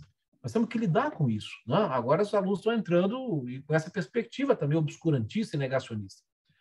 Uma outra questão, em que medida esse negacionismo, já falei no começo, né? vou repetir agora, não se alimenta também dos modismos teóricos que colocam a ciência só como uma narrativa, como as outras. Outra coisa que as humanidades precisam é, se atentar: por que não discutir o que é a ciência com a ciência? Ou seja, sem discursos que não levem em conta o fazer real da ciência. Por exemplo, dizer a ciência não tem, não produz nenhuma verdade maior do que um mito ou que uma narrativa mitológica de uma comunidade é, ancestral. É, de fato, é isso. É, quando nós temos uma pandemia, a gente está procurando algum tipo de ritual dos povos ancestrais para se curar ou está recorrendo à vacina? Se você recorre à vacina e não ao ritual ancestral, é sinal de que você é, acredita que a ciência produz uma verdade distinta. Se você acredita isso, por que ficar trabalhando nas pós-graduações com discursos que dizem que a ciência é uma mera é, é, narrativa, como qualquer outra, está no mesmo patamar é, de produção de verdade que os outros saberes? Né? Então, é, é hora de discutir a ciência com ciência. E, por último, no campo das humanidades, recuperar o pensamento dialético. Nós hoje caímos num maniqueísmo, num binarismo insuportável, que não nos permite entender a realidade. Se você fala da ciência é, é, com problemas, você tem críticas e diz que a ciência não é perfeita, você é lançado no campo do negacionismo. Tá? É, e se você é, elogia as suas as características da ciência, você é lançado no campo dos positivistas, dos ingênuos com relação à ciência. Por que não recuperar um pensamento dialético que percebe a unidade e a complexidade das coisas, inclusive nas suas contradições? Eu acho que é uma tarefa para a gente pensar, tá? fundamental. No campo das ciências naturais, juro que eu acabo agora, ah, a pergunta de como nós entendemos não apenas o objeto da nossa pesquisa, mas o que é pesquisa, o que é ciência. Poucos fazem essa discussão. Eu sou professor de filosofia da ciência e posso testemunhar que mesmo pessoas da área da ciência sabem muito sobre o seu objeto, mas sabem muito pouco sobre sua ciência, sobre o que é realmente ciência. Outra coisa, o que realmente nós sabemos do mundo microbiológico? Em que medida as informações midiáticas né, que eu falei, tem até uma agência específica bancada por grandes empresas, é, em que medida essas informações midiáticas acabam por superar o conhecimento próprio da ciência, tanto na divulgação como na compreensão dos próprios pesquisadores. O que, é que se esconde sobre a complexidade bioquímica e genética e o quanto que está escondido, ou seja, o quanto que nós não sabemos ainda é, do mundo, que deveria nos impor uma atitude de prudência diante do mundo real. Engenharia genética, biotecnologia estão tocando campos da realidade que a gente não sabe ainda bem o funcionamento e nem sabe quais as consequências de uma evolução temporal de modificações de sistemas complexos, porque isso pode trazer consequências imprevisíveis. Isso não deveria nos chamar a atenção e é, propor prudência nas pesquisas, um controle maior sobre o que se faz nos laboratórios de biotecnologia dessas grandes empresas? Tá? Se um dia se descobre que o, o, coronavírus é resultado dessas pesquisas, nós precisamos pensar realmente sobre isso. Ah, bom, e a última coisa: qual o nexo da indústria com o fazer real das pesquisas e quais as consequências que recorrem disso? Quando a Celormital, quando a Fibra, quando a Samarco, quando a Vale financiam uma pesquisa nas nossas universidades, o que, que elas realmente estão pensando e estão querendo com isso? E de que maneira a, a, o, o envidamento de forças para pesquisa para essas empresas nos tira a capacidade de fazer pesquisas que realmente importam para a sociedade como um todo, que demandam a nossa, a nossa pesquisa, demandam a nossa reflexão, mas não tem dinheiro para pagar além dos impostos com os quais elas já são penalizadas e, e, e, e obrigadas a sustentar essas universidades. Então, se nós quisermos tirar alguma coisa positiva dessa tragédia que foi a pandemia da Covid-19, eu acredito que essas são algumas das questões que a gente deve colocar em pauta ao pensar a pesquisa e a pós-graduação em tempos futuros de pós-pandemia. Muito obrigado. Obrigado, professor Maurício Abdala. Professor Maurício, é, temos aqui uma pergunta né, dentro do, da região de comentários do Danilo Sartório Rangel, ele é mestrando em agroecologia. Gostaria de dizer também que nós temos mais de 350 visualizações é, da, desse evento de abertura, um número bem alto. É, ele diz o seguinte: é, Vejo em nossa humanidade atual uma profunda falta de percepção sobre a vida em si e como ela funciona. Classificamos a vida e também nos organizamos de maneira hierárquica, mas o estudo da ecologia nos mostra que a vida não é hierárquica e sim uma rede de infinitas relações. O corona, como parte da vida, se manifestou através dessa rede. Tudo o que precisamos para sobreviver se origina dessa rede: água, alimento, ar, abrigo, agasalho, etc. O capitalismo é hierárquico. Nossas relações são hierárquicas. As academias são hierárquicas. Ora, hierarquia pressupõe superioridade e inferioridade, pobreza e riqueza. Dito isso, pergunto: o que falta para a humanidade entender que o pensamento hierárquico é uma fraude e que devemos pensar e agir de forma ecológica em nosso planeta. Eu já respondo imediatamente? É, a dinâmica pode ser essa? Fica, fica à vontade. A gente tem um, um, um, intervalo entre a transmissão e a sala de mais ou menos 15 segundos. Então, eu solicitei que, é, que os, os telespectadores colocassem as perguntas okay. lá para eu poder fazer. Só tem essa pergunta no momento. Ok, e é, eu queria primeiro parabenizar o preâmbulo da pergunta, com o qual eu concordo é, integralmente, né, a maneira como foi colocada a questão. Ela foi precedida de um preâmbulo absolutamente pertinente. De fato, a vida é exatamente essa teia de relações e uma teia que foi tecida e, e, e é, durante quase 4 bilhões de anos de evolução, né, entre 3,8 e 4 bilhões de anos de evolução. E essa teia tem vários nós de, de sustentabilidade, de integração, e é isso. O ser humano, ah, se achando o, o senhor da, da, dessa teia, embora seja uma parte dela, e uma parte que surgiu nos últimos momentos, né? se nós reduzíssemos a, toda a história da vida a um dia, é, os quase 4 bilhões de anos a um dia, o ser humano era aquele que chegou, faltando um segundo para meia-noite, né? chegou na, na, na festa e já chegou botando banca. Ele mexe nessas partes de uma forma muito irresponsável. Ele não sabe, nós não sabemos, ainda as consequências de pequenas alterações em ambientes que a gente não conhece. A nossa mentalidade ela foi sendo conformada de uma maneira reducionista, de uma maneira mecanicista, de uma maneira atomista na compreensão dos problemas da natureza e também da sociedade, fruto do método é, primeiro fruto das relações de mercado e que se expressou filosoficamente no método analítico cartesiano. nós vivemos uma imbricação da nossa forma de viver com a nossa forma de pensar. Né? Nós não vivemos de um jeito e pensamos de outro. Há, inclusive, um provérbio latino que diz primeiro viver, depois filosofar. Alguns acham que ele só quer dizer é, primeiro você tem que comer, se alimentar, viver, para depois alimentado filosofar, mas eu dou a isso um sentido é, mais amplo, que é a, primeiro viver, depois filosofar, significa que o nosso filosofar é decorrência da nossa forma de viver. E enquanto nós não mudarmos a nossa forma de viver, a nossa forma de pensar vai ser hierárquica, atomista, é, é, reducionista. É preciso gente primeiro se compreender como uma teia de relações para poder compreender o mundo como uma teia de relações. Nós tendemos a, a, a lançar a nossa maneira de relacionamento social sobre a sociedade. Olha o que, que Darwin fez. Pegou a, a ideia de Malthus, que era aplicada à, à sociedade, e, e, lançou na natureza. Acreditou que a natureza era exatamente a, re, a reprodução do mundo social, ah, é, é, da forma como Malthus compreendia. É, e isso está lá no próprio na Origem das Espécies, o Darwin fala isso. A minha ideia é a ideia de Malthus lançada sobre a natureza, sobre o mundo animal e vegetal. Nós tendemos a isso. Então, enquanto nós mantivermos essa maneira hierárquica, você diz, o capitalismo é um sistema hierárquico, ele é hierárquico, as relações de mercado são reducionistas, são atomistas, são individualistas, são competitivas. E nós lançamos essa ideia sobre a natureza. Para se ter uma ideia diferente do ecossistema, para se ter uma ideia distinta do universo natural como rede, não só a, a, o mundo vivo, mas também o mundo inanimado como uma grande rede que se autossustenta, para ter isso nós precisamos mudar as nossas relações. Isso nós fazemos ao mudar nossas relações cotidianas e se esforçar para mudar nossa mentalidade, mas isso só vai se completar quando nós mudarmos de maneira global as nossas relações de produção econômica.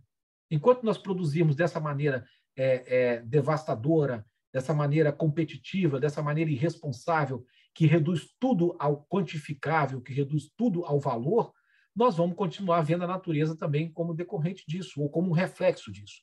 Então, para mudar essa nossa concepção, só mudando a nossa maneira de ser. E aí concluo com aquele mesmo ditado: primeiro viver, depois filosofar. Mudemos primeiro a nossa forma de produzir a vida na história, não dá para mudar amanhã, não dá para mudar depois de amanhã, não dá para mudar no, na, na, próxima década. Mas nos esforcemos primeiro para mudar essas nossas relações, nos compreendendo como uma teia de relações da nossa espécie, para, consequentemente, compreendermos também a natureza como essa teia de relações. Ou a gente faz isso, ou a gente vai continuar nesse processo de destruição e as pandemias não vão ser só consequências disso, consequências como uma consequência natural, mas algo até planejado. Porque, não sei vocês, mas eu imagino que, diante da quantidade de lucro que essa pandemia gerou para esse setor de fármacos e biotecnologia, eu suspeito muito que os executivos que as controlam, que não são cientistas, alguns são, a grande parte não é, os acionistas, a maior parte não é, né? eles vão titubear ao, é, pelo menos, ter vontade, para ser muito bom, de que uma nova pandemia venha a engordar suas contas bancárias no futuro, né? dada a, a ficha corrida que essas empresas têm. Então, ou a gente muda as nossas relações, é, e isso se faz também na maneira de pesquisar, na maneira de ensinar, no campo da educação, ou nós podemos aí estar com os dias contados, a espécie humana é, pode estar com os dias contados no planeta, infelizmente levando outras com ele. Né? A vida na Terra não, ela continua, ela é, mais, ela é resiliente, é maior do que o ser humano, mas a nossa epopeia pode chegar ao fim se a gente não for suficientemente inteligente para repensar da maneira como é, nosso colega apresentou no preâmbulo da pergunta. Obrigado. É, o Jefferson Luiz Ferrari está é, tá dizendo aqui, excelente palestra, professor Maurício Abdala, gratidão pelas reflexões. É, nós temos ainda a contribuição do professor Rony Cláudio Oliveira Freitas. Professor Maurício Abdala, brilhante como sempre. Parabéns aos organizadores por nos proporcionar esse momento de reflexões. É, o Wagner Rocha Ruda Chaves está perguntando: o capitalismo seria uma relação social totalmente e é, totalizante e contraditória, cuja força básica seria a acumulação de capital pelos lucros, produtos do trabalho social? Uma pergunta. Bom, eu imagino que a pergunta é, ela é feita quase como uma afirmação, né? O, o, a, a, formulação da pergunta mostra que, de fato, a pessoa pensa assim, o nosso colega que perguntou, desculpe, o nome fugiu, mas ele pensa assim e espera uma, uma, uma confirmação e que eu uh, estou disposto a dar. Né? De fato, o sistema capitalista ele é uma maneira de produzir, é, foi, um, foi a base é, material de um processo civilizatório começado na Europa, é, que teve sua ascensão ali pelo século XII, XIII, XIV, depois eh, se espalhou por todo mundo, ia gerando vida, ia gerando vida, integração, ainda que desigual, ainda que destruindo coisas e escravizando, e, e, mas incluía pessoas no seu, no seu bojo. E que já se esgotou a sua capacidade porque a, a, a, o planeta não suporta mais a maneira como esse sistema vem produzindo seus valores. É, é essência do capitalismo, por isso que o nome dele é capitalismo. O nome está lá, é capitalismo, se apresenta como tal. A essência dele é converter tudo que é material, tudo que é humano, em valor, em capital. Capital é um valor que se reproduz, é um valor que aumenta. Tá? Não é um valor que você usa, é um valor que tende a se reproduzir, é o dinheiro que tende a se reproduzir. E para isso ele precisa submeter tudo à sua lógica.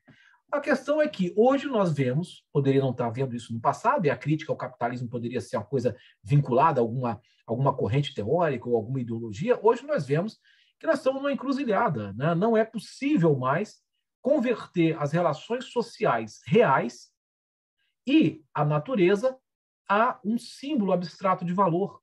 Não é possível mais desmaterializar, desnaturalizar e desumanizar o mundo em função da sua quantificação, da sua transformação e da sua conversão em dinheiro. Hoje é assim. Os acionistas que é, investem seu dinheiro nas grandes empresas, eles sequer sabem onde o seu dinheiro está sendo aplicado. Para aqueles que acham que a, a, os crimes ecológicos da Samarco em Mariana e é, da Vale em Brumadinho foi a, algo é, ou fruto da maldade ou fruto de, de um, um, uma perversidade da pessoa e que poderia ser corrigida do ponto de vista moral. Não, é o sistema que faz isso. Os acionistas querem retorno do dinheiro investido. Não importa onde. Se a empresa não está dando aquele, aquela, aquele rendimento, ele pode, com um toque de computador, passar todo o seu capital para outro, outro ramo, ainda sem saber onde está investindo, porque não é o proprietário do capital que investe, sim as empresas que eles contratam para poder fazer esses investimentos e fazer seu capital render e ele precisa render. Os, os, os CEOs, os, os executivos sêniores, os, os, gerentes, os que comandam de fato as empresas, têm que dar, é, prestar conta aos acionistas. E eles vão exigindo, numa cadeia impessoal de gerência e de gestão, que chega até lá embaixo e o engenheiro recebe uma ordem, ou as, as pessoas que estão lá no dia a dia recebem uma ordem de aumentar a produção, e mesmo que o engenheiro fala, se aumentar a produção vai romper a barragem. Um fala, eu não tenho nada com isso, a ordem veio de lá. O outro, eu não tenho nada com isso, a ordem veio de lá. E aqueles que, de fato, tomam a decisão, é um conjunto impessoal, porque tudo aquilo é valor. Valor que deve gerar valor. E o que, que aconteceu? Um rio inteiro, todo um ecossistema foi destruído, pessoas perderam a vida e perderam sua fonte de renda, em função de quê? Cadê o culpado? O culpado é o sistema. E ela se ocorreu, e ela ocorre de novo em Brumadinho e tem ameaça de ocorrer em outros lugares. O sistema se tornou incontrolável, porque a conversão de coisas reais e grandes em meros valores comercializados por meio de bits eletrônicos né, não, não dá conta do que o mundo é, não dá conta do que nós precisamos. Então, de fato, o capitalismo é esse sistema que desmaterializa, desnaturaliza e desumaniza tudo. E aí nós vamos ter problemas, porque nós, nós vivemos num mundo material, natural e humano. E essa contradição ela é o que pode é, levar à destruição. Ah, alguns falam, levar à destruição do capitalismo. Correto. Mas a destruição do capitalismo pode significar, ou pode coincidir com a destruição de toda a espécie humana no planeta. Então, a, é, é, a, a Terra já não suporta mais. Leonardo Boff costuma dizer: a Terra vai dar conta de destruir o capitalismo. Eu só acrescento: o problema é saber se nós estamos tão presos ao sistema de que, no momento em que a Terra se livrar do capitalismo, ela também acabe se livrando de nós também. Então, é isso que nós precisamos decidir. Estamos tão apegados a esse sistema a ponto de não podermos é, criar outro.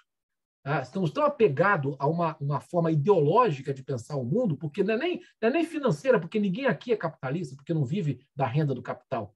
Tá? É uma questão ideológica. Você defende o sistema. Isso é ideologia porque você não vive do, do sistema. Pelo menos, imagino que quem está hoje pesquisando no mundo acadêmico não vive da renda do capital e vive do seu trabalho. Consequentemente, não é capitalista. Nós estamos tão apegados à ideologia que vamos nos sacrificar junto com o sistema porque a Terra não suporta mais? Ou vamos ser suficientemente humanos, criativos e livres para pensar formas distintas de conviver com o outro, com os animais, com o mundo microbiológico e com o mundo é, mineral, inclusive? É, teremos novas formas de conviver com a Terra? É essa a decisão que se aponta para nós para as próximas décadas.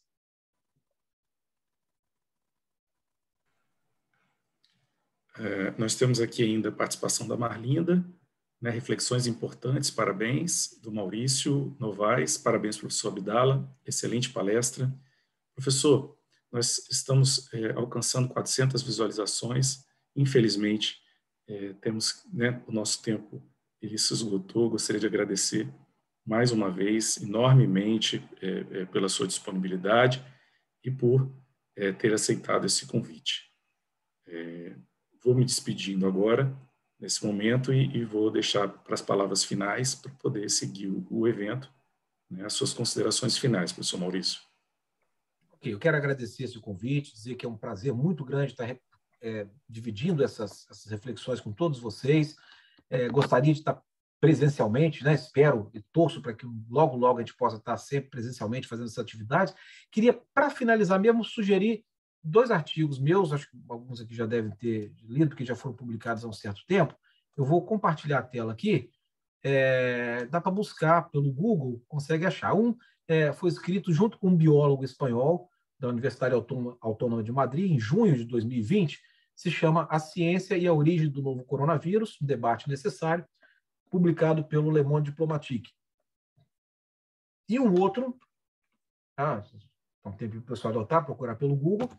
E o outro, estou tentando passar aqui, mas é uh, publicado pelo portal uh, Outras Palavras, que se chama Covid, a saída nas mãos de indústria sem ética. Por que eu estou recomendando esses dois artigos?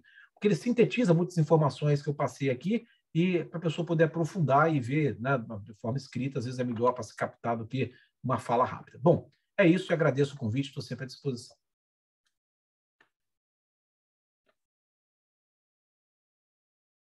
Seu microfone está desligado, Pedro. Muito obrigado, Maurício. É, mais uma vez, é, vamos encerrar aqui a, primeira palestra de abertura é, com o professor Maurício Abdala. Realmente um prazer assistir sua palestra. Muito obrigado. E é, seguiremos agora para a segunda palestra de abertura com o tema é, Vale a pena investir em pesquisa e pós-graduação? É a pergunta da segunda palestra. Para esse momento, eu vou chamar o segundo palestrante do nosso simpósio, é, professor André Romero da Silva. Seja muito bem-vindo, agradeço em nome de todos a sua presença e a palavra está com você. Muito obrigado. Obrigado, Pedro. Também agradecer a palestra do professor Maurício, agradecer a presença de todos que nos ouvem. Vou pedir só um minutinho, licença para poder compartilhar aqui a tela.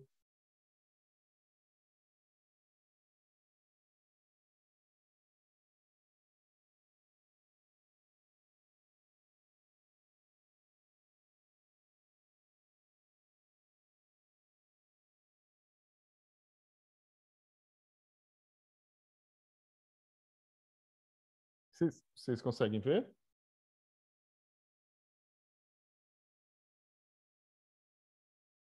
Pedro, você poderia falar para mim se vocês estão conseguindo ver? Sim, André, sim. Sim, está dando para ver, André. Obrigado. Estou conseguindo é... ver, meu microfone estava fechado de novo. Obrigado. É... Bem, primeiro, obrigado. Eu vou falar numa contextualização em termos é, da pesquisa, da pós-graduação, né? E, e eu vou fazer uma reflexão, tá, em termos do é, assim da rede federal de educação profissional científica e tecnológica e também vou fazer uma contextualização. Foi até interessante que o professor é, Abdala falou um pouquinho sobre essa questão farmacêutica. Eu vou fazer uma assim um, um pensamento, um raciocínio em termos da ciência e do poder que a ciência pode trazer e daquilo e das suas consequências em relação com uma visão em termos farmacêuticos. É, eu começo a minha fala né, contextualizando a questão nossa, né, da nossa rede federal, que tem uma história é, calcada no ensino, que tem sua fundação em 1909. Aqui, né, um slide é, retirado né, do, do CONIF de um aniversário de 110 anos, nós já temos mais, né, de 110 anos, mas que assim é, nos mostra né, sobre a nossa história, da nossa Constituição, que está balizada, que está alicerçada no ensino, e que é, nós sabemos, e a sociedade é, costuma muito falar sobre é, a, enfim, né, os, os, institutos federais por todo o Brasil e os nossos alunos que acabam sendo formados e acabam sempre tendo sucesso nesse, nos exames é, que participam de acesso à graduação, principalmente, trabalhando na questão do integrado. Mas veja que pouco se fala a respeito da pesquisa desenvolvida nos institutos federais. Pouco se fala dos resultados né, dessas pesquisas. E pelo Brasil afora, os resultados, e eu demonstro aqui para vocês alguns desses resultados que acontecem ao longo do Brasil inteiro, é, em termos, é, aqui eu estou mostrando é, da região centro-oeste, né, do, Mato Grosso do Sul, do IF goiano, resultados né, dos nossos alunos de iniciação científica, e que demonstram que os institutos federais têm uma atuação em termos da pesquisa bastante interessante. Aqui estou mostrando da região sul, do, do IFRS, também do IFSC, também da, da, região norte, resultados bastante interessantes e importantes dentro das pesquisas que vêm sendo desenvolvidas na rede federal, aqui da região sudeste, aqui, né, particularmente do Instituto Federal do Espírito Santo, também do IFF, alunos do ensino técnico e também da graduação, e aqui da região Nordeste, apenas como exemplos de resultados que vem demonstrando né, as ações é, de pesquisa que estão sendo desenvolvidas na nossa rede. É importante se relatar que a nossa rede, na forma como ela é constituída e na forma como ela está atuando em função da sua criação da Lei 11.892, é, ela é muito recente, ela tem 12 para 13 anos. Então, essas ações contundentes de pesquisa, de pós-graduação, de extensão e de inovação são relativamente recentes comparado a outras instituições. Perante o que eu estou falando agora, eu gostaria então de refletir e tentar né, colocar alguns pensamentos por que, que investir em pesquisa e pós-graduação é, é importante. Né? Uma dessas, desses pensamentos, vale aqui é, refletir, é que a ciência permite a colaboração de pesquisadores de diferentes localidades, né? E torna a pesquisa colaborativa, né? É, globalizada e também é um diferencial no ensino e aprendizagem dos nossos alunos que aprendem a trabalhar em grupo, né? E isso envolvendo instituições públicas e também privadas. Aqui eu, eu estou mostrando para vocês uma realidade da rede federal é, nesses últimos anos. Vocês podem observar resultados, né, são, são colaborações que estão presentes tanto aqui na América é, do Sul e América Latina, aqui também na região norte, na, na, na Europa. Nós temos colaborações também na Ásia, assim como no Oriente Médio e na África. As, as colaborações com a, as, as indústrias, ela vem crescendo, isso aqui é um dado recente, isso não é um dado só dos institutos federais, isso aqui vem também dentro das universidades, é um, vocês estão vendo, isso aqui é um perfil basicamente exponencial de crescimento de crescimento ao longo desses 37 anos. E uh, sendo que dentro desse crescimento, dessa, dessa interação né, da pesquisa, junto né, também com o setor produtivo local, aqui nós temos as principais instituições que vêm desenvolvendo isso. Né? Vejo que são é, instituições universitárias e que é, é, são instituições que têm um tempo de existência é, muito maior que dos institutos federais.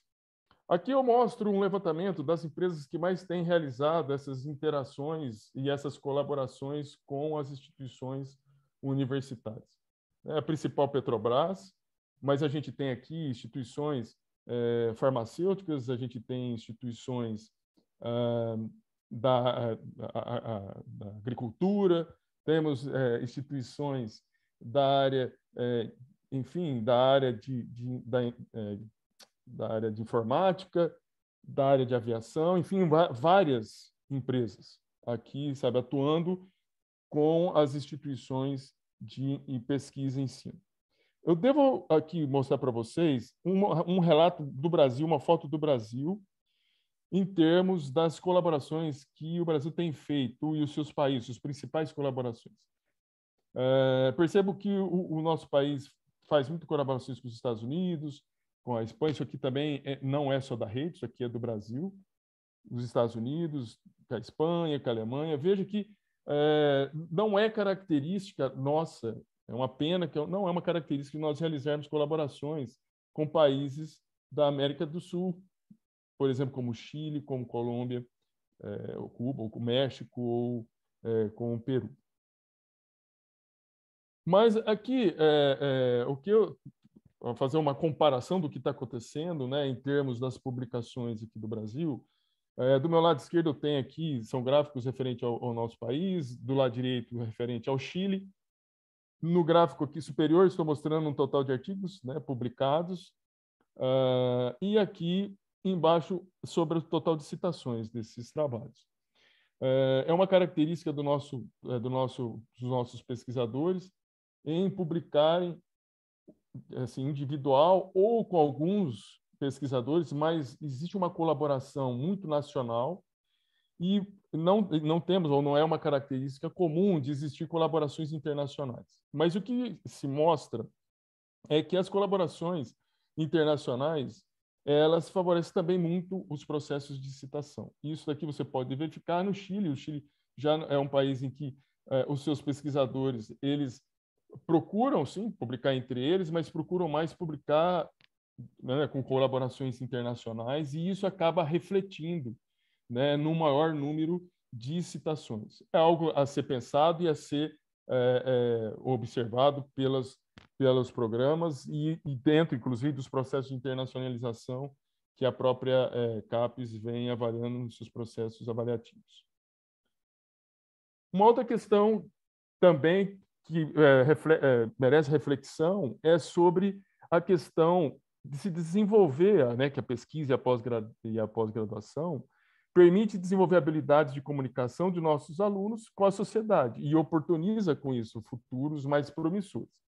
Veja bem, nós, isso aqui é uma, um reflexo da rede de apenas 24 institutos, e isso daqui de 2019.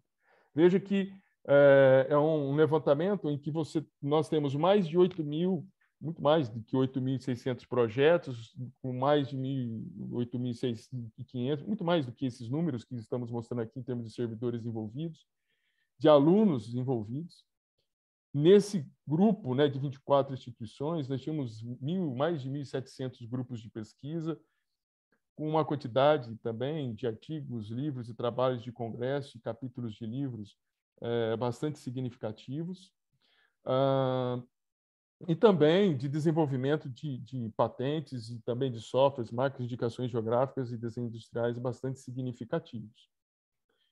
Aqui eu mostro para vocês uma realidade dos principais trabalhos publicados na, é, na rede é, ao longo desses anos, 2016 2021. A principal na área de engenharias, ciências da computação, é, na área de química, física e astronomia e ciências do materiais, agricultura e ciências biológicas, mas há outras áreas. Né? Isso aqui é uma realidade da rede federal. É, para que vocês tenham uma ideia das diferenças, aqui eu estou mostrando a realidade daqui do Espírito Santo dentro das suas explicações. Isso aqui é uma. É, eu retirei do Saiva. O Saiva é um site indicador vinculado a Scopus, aonde é, o Instituto Federal do Espírito Santo, as suas principais publicações estão na área de agricultura e biológicas, na área também da engenharia, na área de química, da ciência da computação, das ciências ambientais e das ciências materiais e assim por diante. Quando a gente pega o Ministério da, da Educação e a gente olha de maneira mais global, você percebe inicialmente uma diferença entre as atuações da rede federal com as atuações do MEC, em que suas publicações estão principalmente centradas em medicina, em bioquímica e genética, um conjunto de outras de outras áreas e depois agricultura e, bio, e biológicas, física e astronomia e química e assim por diante. Aqui é uma realidade da, do, do, da América é, do Sul e que a gente tem também na América Latina sobre as publicações. Né? Também nesse período 2016 2020, onde o Brasil é, é o, o, país que mais publica entre todos, aí aqui depois vem o México, Chile, Argentina e Colômbia, e que, é, embora o Brasil seja um país que vem publicando e vem crescendo muito as suas publicações, é, os seus índices de impacto ou impacto né, da sua pesquisa, principalmente em termos de citações, acaba não atingindo a média, é, enfim, que é comum no mundo, mas os países como Chile e Colômbia conseguem atingir essas, esses índices. E aqui é uma, uma tendência né, dos impactos dessas citações, em que nós vemos em que Chile e Colômbia possuem né, um poder de impacto e Argentina um pouco maior do que o do Brasil, é, né, comparado, o Brasil aqui encontra, se encontra acima do México e do Peru. Muito em função daquilo que eu havia mostrado antes também, né? Não é só isso, mas muito também em função dessa questão da necessidade de nós realizarmos é, pesquisas em colaboração, que nos auxilia também a avançar dentro das nossas pesquisas e permite uma globalização maior um estudo mais aprofundado de temas que ficam só sobre, ou que podem ficar só, é, apenas sobre é, a, a, nossa discussão é, em nossa nação. Uma outra é, questão que eu acho que, que vale a pena também a gente raciocinar, né? por que investir em pesquisa e pós-graduação, é de que é, eles podem, é, ou elas, né, pesquisa e pós-graduação, podem ser difundidas né, pelas regiões interioranas.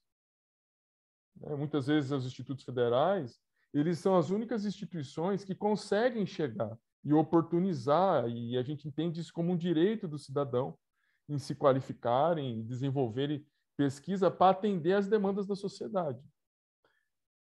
Veja, aqui é um, uma foto né, da rede federal, em que, do lado esquerdo nós temos a distribuição dos campi pelo todo o nosso país. Percebam que isso é uma realidade de uma assimetria muito grande, que acaba refletindo na assimetria da presença dos mestrados e doutorados que nós temos aqui. Nós temos aqui, vejam bem, é, nós temos são 194 cursos, né, são 177 cursos de mestrado, 20 cursos de doutorado. Né? É, dentro desse âmbito né, da pós-graduação, nós, veja bem, nós temos 136 né, mestrados profissionais, 41 mestrados acadêmicos, seis doutorados profissionais e 14 doutorados acadêmicos. É, isso daqui é uma realidade da nossa rede federal, né, e principalmente quando a gente fala dos, dos doutorados profissionais, essa quantidade menor que nós temos, muito está em função da falta da ausência ou da dificuldade, talvez seja melhor, dificuldade que a CAPES tem de entender sobre a importância do que vem a ser é, um doutorado profissional e, portanto, das dificuldades de se aprovar os doutorados é, profissionais é, junto à, à CAPES. Né? Aqui é uma, uma foto dentro da nossa rede federal, em termos das notas dos seus programas, né? São, como eu disse para vocês, já é uma realidade da rede, a rede na forma como ela se constitui, na forma como ela existe, nós temos é, é, 12 para 13 anos né, trabalhando de forma bastante intensa em termos de pesquisa e pós-graduação. É necessário que se diga que, nesse curto espaço de tempo, a rede federal ela tem, é, enfim, ela tem trabalhar, ela tem conseguido resultados muito significativos. E a nossa rede tem sido muito brilhante nesse curto espaço de tempo, em função desses números que eu estou é, mostrando. Você veja que nós temos 114 é, programas nota 3, são programas recentes, né? é, 50 programas nota 4, 10 programas nota 5 e 23 cursos é, recentes, né, aprovados aí pela CAPES. E aqui é uma, assim, quais são as áreas básicas da rede federal? Isso aqui não são as áreas de avaliação, são as áreas básicas em que os cursos se encontram. O principal a área de ensino, uh, depois nós temos agronomia, ciências ambientais, área de administração, agronomia, educação, existem outras áreas né, básicas dos cursos aqui, aqui é, presentes. E aqui é uma foto mais da rede federal em termos de avaliação, né, onde a área do ensino é a principal área dentro dos programas presentes na nossa, é, na nossa rede. E também nós temos outros programas na área é, interdisciplinar, das ciências ambientais, da astronomia física, das ciências agrárias, da educação, da engenharia as quatro, mas há outras, né, como engenharias 2, engenharias 1, um, enfim, filosofia, entre outras. Só que é um, uma tabela em que eu mostro na nossa rede quais são uh, os institutos federais e, além de quais os, os institutos federais, Uh, a quantidade dos mestrados, né, é, doutorados, suas notas e suas quantidades. Veja que o Cefet de Minas Gerais é aquele que possui uma maior quantidade de programas, além do Instituto Federal do Ceará, ah, desculpe, o Cefet de Minas Gerais, depois do Instituto Federal Goiano, e aí nós temos o Cefet de, de, Minas, de, do Rio de Janeiro, o IFCE e o IFES como as instituições que mais possuem programas. Veja que as quantidades de programas são pequenas, em função muito daquilo que eu já disse, em função do tempo que nós estamos trabalhando, né? é, ou, ou, em função do tempo que a rede vem desenvolvendo suas atividades de forma contundente em termos de pesquisa é, e pós-graduação e também de inovação. Aqui é uma realidade né, do, da nossa instituição, são 11 programas, 12 cursos que nós temos, né, programas como de engenharia, metalurgia de materiais, que é o programa é, mais é, antigo da nossa instituição. É recente, mas é o mais antigo. E depois, logo em seguida, eu vou mostrar depois essas datas, o programa de, edu de educação em ciência e matemática. Nós temos o ProfPT, que é o programa da pós-graduação em educação profissional e tecnológica. Nós temos o programas de ensino de física, de ensino de humanidades, de, de, do ensino de letras, né, o Prof. Letras, temos também um programa de ensino de, de Química, o Profiqui, o mestrado em Computação Aplicada, de Tecnologias Sustentáveis, de Controle de Automação e o mestrado em Agroecologia, que é o único mestrado que está presente no interior, e daqui a pouco eu vou falar um pouquinho mais sobre essa, essa questão. Aqui eu mostro somente as datas de início desses programas, para que vocês possam verificar que eles são iniciados em 2009 com o PROPEN, e o mais recente, o doutorado né, do Educimate. Veja que são inícios muito recentes, né? muito recentes. E aqui eu chamo a atenção também do Profit, que é o mestrado em rede nacional, que iniciou em 2017 com 14 em 14 estados e com 18 instituições associadas, e aí, né, que suscitou inscrições de quase 19 mil inscrições, e que terminou em 2020 com 26 estados, ou presente em 26 estados, com 40 instituições é, associadas e com uma quantidade bastante significativa de alunos, com mais de 2.600 alunos. E isso, nesses últimos anos, vem é, trazendo muitos números né, em termos é, de alunos titulados, enfim, de artigos científicos, de trabalhos, de patentes, bastante significativos resultados é, sendo também né, um, um mestrado em, em rede. Então, é uma realidade de um programa em rede é, é, que o IFES é, trabalha. Uma outra questão que eu preciso também abordar é o seguinte: veja que aqui eu tenho um gráfico né, é, aqui do Espírito Santo e que eu, demonstro a presença é, dos, é, de cursos lato senso, eles estão presentes na maioria dos campos da nossa instituição, mas que a pós-graduação em estrito senso ela está concentrada na região da, da Grande Vitória, apresentando um único é, programa localizado no interior. E percebam do lado direito sobre as, as atividades da iniciação científica, aonde que você vai encontrar uma maior atuação da iniciação científica, na região metropolitana.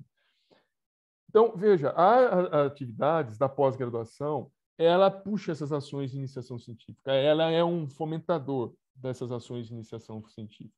Não é que não existe ações de iniciação científica em outros campos. Você veja que nos campos das regiões das agrotécnicas, que são é, autarquias que têm também é, uma grande quantidade de tempo, algumas têm mais de 80 anos, outras têm mais de 50 anos, mas todas elas mais de 50 anos, é, também tem uma atuação né, é bastante é, importante em termos da iniciação científica. E aqui na região sul, né, a que tem o, o, mestrado né, em agroecologia, também né, ele puxa bastante essas ações e a vinculação as, as ações de iniciação científica. Uh, nós temos pensado numa progressão do futuro que a gente possa, veja, é importante o papel do Instituto Federal. Como eu disse para vocês, não são todas as instituições públicas que conseguem chegar no interior. Agora, é, a gente entende que essas questões da educação é um direito do cidadão, que ele possa também ter a possibilidade de se formar, de se é, realizar um mestrado, de realizar um doutorado e realizar atividades de pesquisa também. E a gente tem trabalhado no sentido de é, oportunizar para as regiões é, também do interior, a partir de colaborações, é, oferecendo possibilidade de trabalhos de, de cooperação, de, de coorientação, enfim, de capacitação é, de, de, de, colegas no sentido de atuarem na pós-graduação institucional e trazer também outros programas para é, o, o interior para que a gente possa oportunizar isso para uh, os nossos alunos. Uma outra coisa que vale também é, refletir é sobre a questão da pesquisa e a pós-graduação como fontes potenciais de geração de inovação e tecnologia, e que favorece o desenvolvimento de trabalhos com o poder público e o privado. Veja, isso aqui é uma realidade da rede, né? Isso aqui é uma realidade da rede dos polos de inovação. Nós temos hoje na rede 13 polos de inovação. Isso começou, uh, esses polos, a surgirem a partir de 2015, com cinco polos. Depois, em 2017, mais quatro polos. E depois, em 2020, mais quatro polos, total de 13 polos. Uh, esses, uh, esses polos, eles já são 42 polos em Brapi e eles já captaram 400, mais de 473 milhões é, isso daí hoje, né, ele está girando em torno de 73 milhões de euros. São, né, hoje são mais de 281 projetos sendo desenvolvidos e que os polos de inovação também são é, é, polos que podem interagir junto com os programas de pós-graduação e atuar no sentido de, de, vincular as ações também de pesquisa e também da pós-graduação, no sentido de se desenvolver novas enfim, é, pesquisas é, não só aplicadas também como básicas em função de problemas que a sociedade, seja do mundo produtivo ou problemas da sociedade geral, enfrenta. E, mais para frente nós vamos falar de, desses problemas. Aqui eu estou mostrando para vocês uh, o que os polos têm trabalhado e, é característica, tá, gente, do, do Brasil inteiro. Aqui eu estou mostrando do Nordeste o que eles vêm desenvolvendo aqui trabalhando com é, equipamentos médicos, seus dispositivos e acessórios, trabalhando no desenvolvimento é, de sistemas, por exemplo, de simulação de patologias cardíacas, é, sistemas embarcados né, e mobilidade digital, desenvolvendo sistemas de comunicação e dados para dispositivos de IoT, né, com focos nas aplicações de gestão. No IFF, tecnologias para a produção mais limpa, né, trabalhando com eficiência energética e fontes renováveis, softwares, por exemplo, de controlador de gerador de biogás. Aqui na metodologia de materiais, né, desenvolvendo, é, implantando processos de hidrometalurgia sustentável, de reciclagem de, de, pasta de baterias de chumbo e aço, né, em planta piloto. É, no, na, no Centro-Oeste, os colegas desenvolvendo tecnologias agroindustriais, né? por exemplo, no questão de manejo de pragas e internet das coisas, é, ou as tecnologias energéticas industriais, né? Em que o objetivo lá é trabalhar com geração de energia elétrica e demais é, sistemas de eficiência energética e fontes renováveis. Na região norte também, tecnologias para o processo de manufatura, né, é, com dispositivos, né, o objetivo lá é trabalhar com dispositivos de automação e controle, uh, software e sistemas para processos industriais, e em Santa Catarina com sistemas inteligentes de energia, né, aqui trabalhando com supervisão de transformações da rede secundária de distribuição de energia elétrica. Além disso, nós temos também núcleos incubadores, Veja que na rede, a rede federal possui 106 núcleos incubadores. Isso aqui é uma foto desses núcleos incubadores, onde eles estão localizados. Os núcleos incubadores que têm um trabalho é, bastante interessante, que também suscitam desenvolvimentos de pesquisa que podem estar relacionados, por exemplo, a trabalhos da Associação dos Cacauicultores do Espírito Santo. É, isso é um trabalho que foi feito com desenvolvimento de indicações geográficas e, junto com a Associação dos Produtores de Cacau, para é, estudo, por exemplo, de doenças de vassouras de bruxa, para poder se é, é, auxiliar no estudo e desenvolvimento é, de tecnologias para identificação e controle da praga. É, o IFF né, também com, com, buscando desenvolver embalagens sustentáveis para a venda de hortaliças. É, na, lá no Nordeste, o pessoal desenvolvendo projetos né, de P&D para Laboratório de Inovação Tecnológica para Gerenciamento de, de Remoto de Cargas. Lá na Paraíba, né, desenvolvendo tecnologias por fortalecimento de arranjos produtivos da agricultura familiar. Uh, no Sul, eles vêm trabalhando, por exemplo, em plataformas de prestação de serviço é, de entrega diferenciada, e assim como no Rio Grande do Sul, do IFRS, coleta seletiva e gestão completa de resíduos recicláveis de condomínios, escolas e empresas. Aqui também nós temos a região eh, centro-oeste, desenvolvimento, né, pesquisas relacionadas ao desenvolvimento de alimentos saudáveis. No Mato Grosso do Sul, implantação de biodigestor nas aldeias, né, em aldeias Limão Verde e Buritizinho, que são é, aldeias indígenas.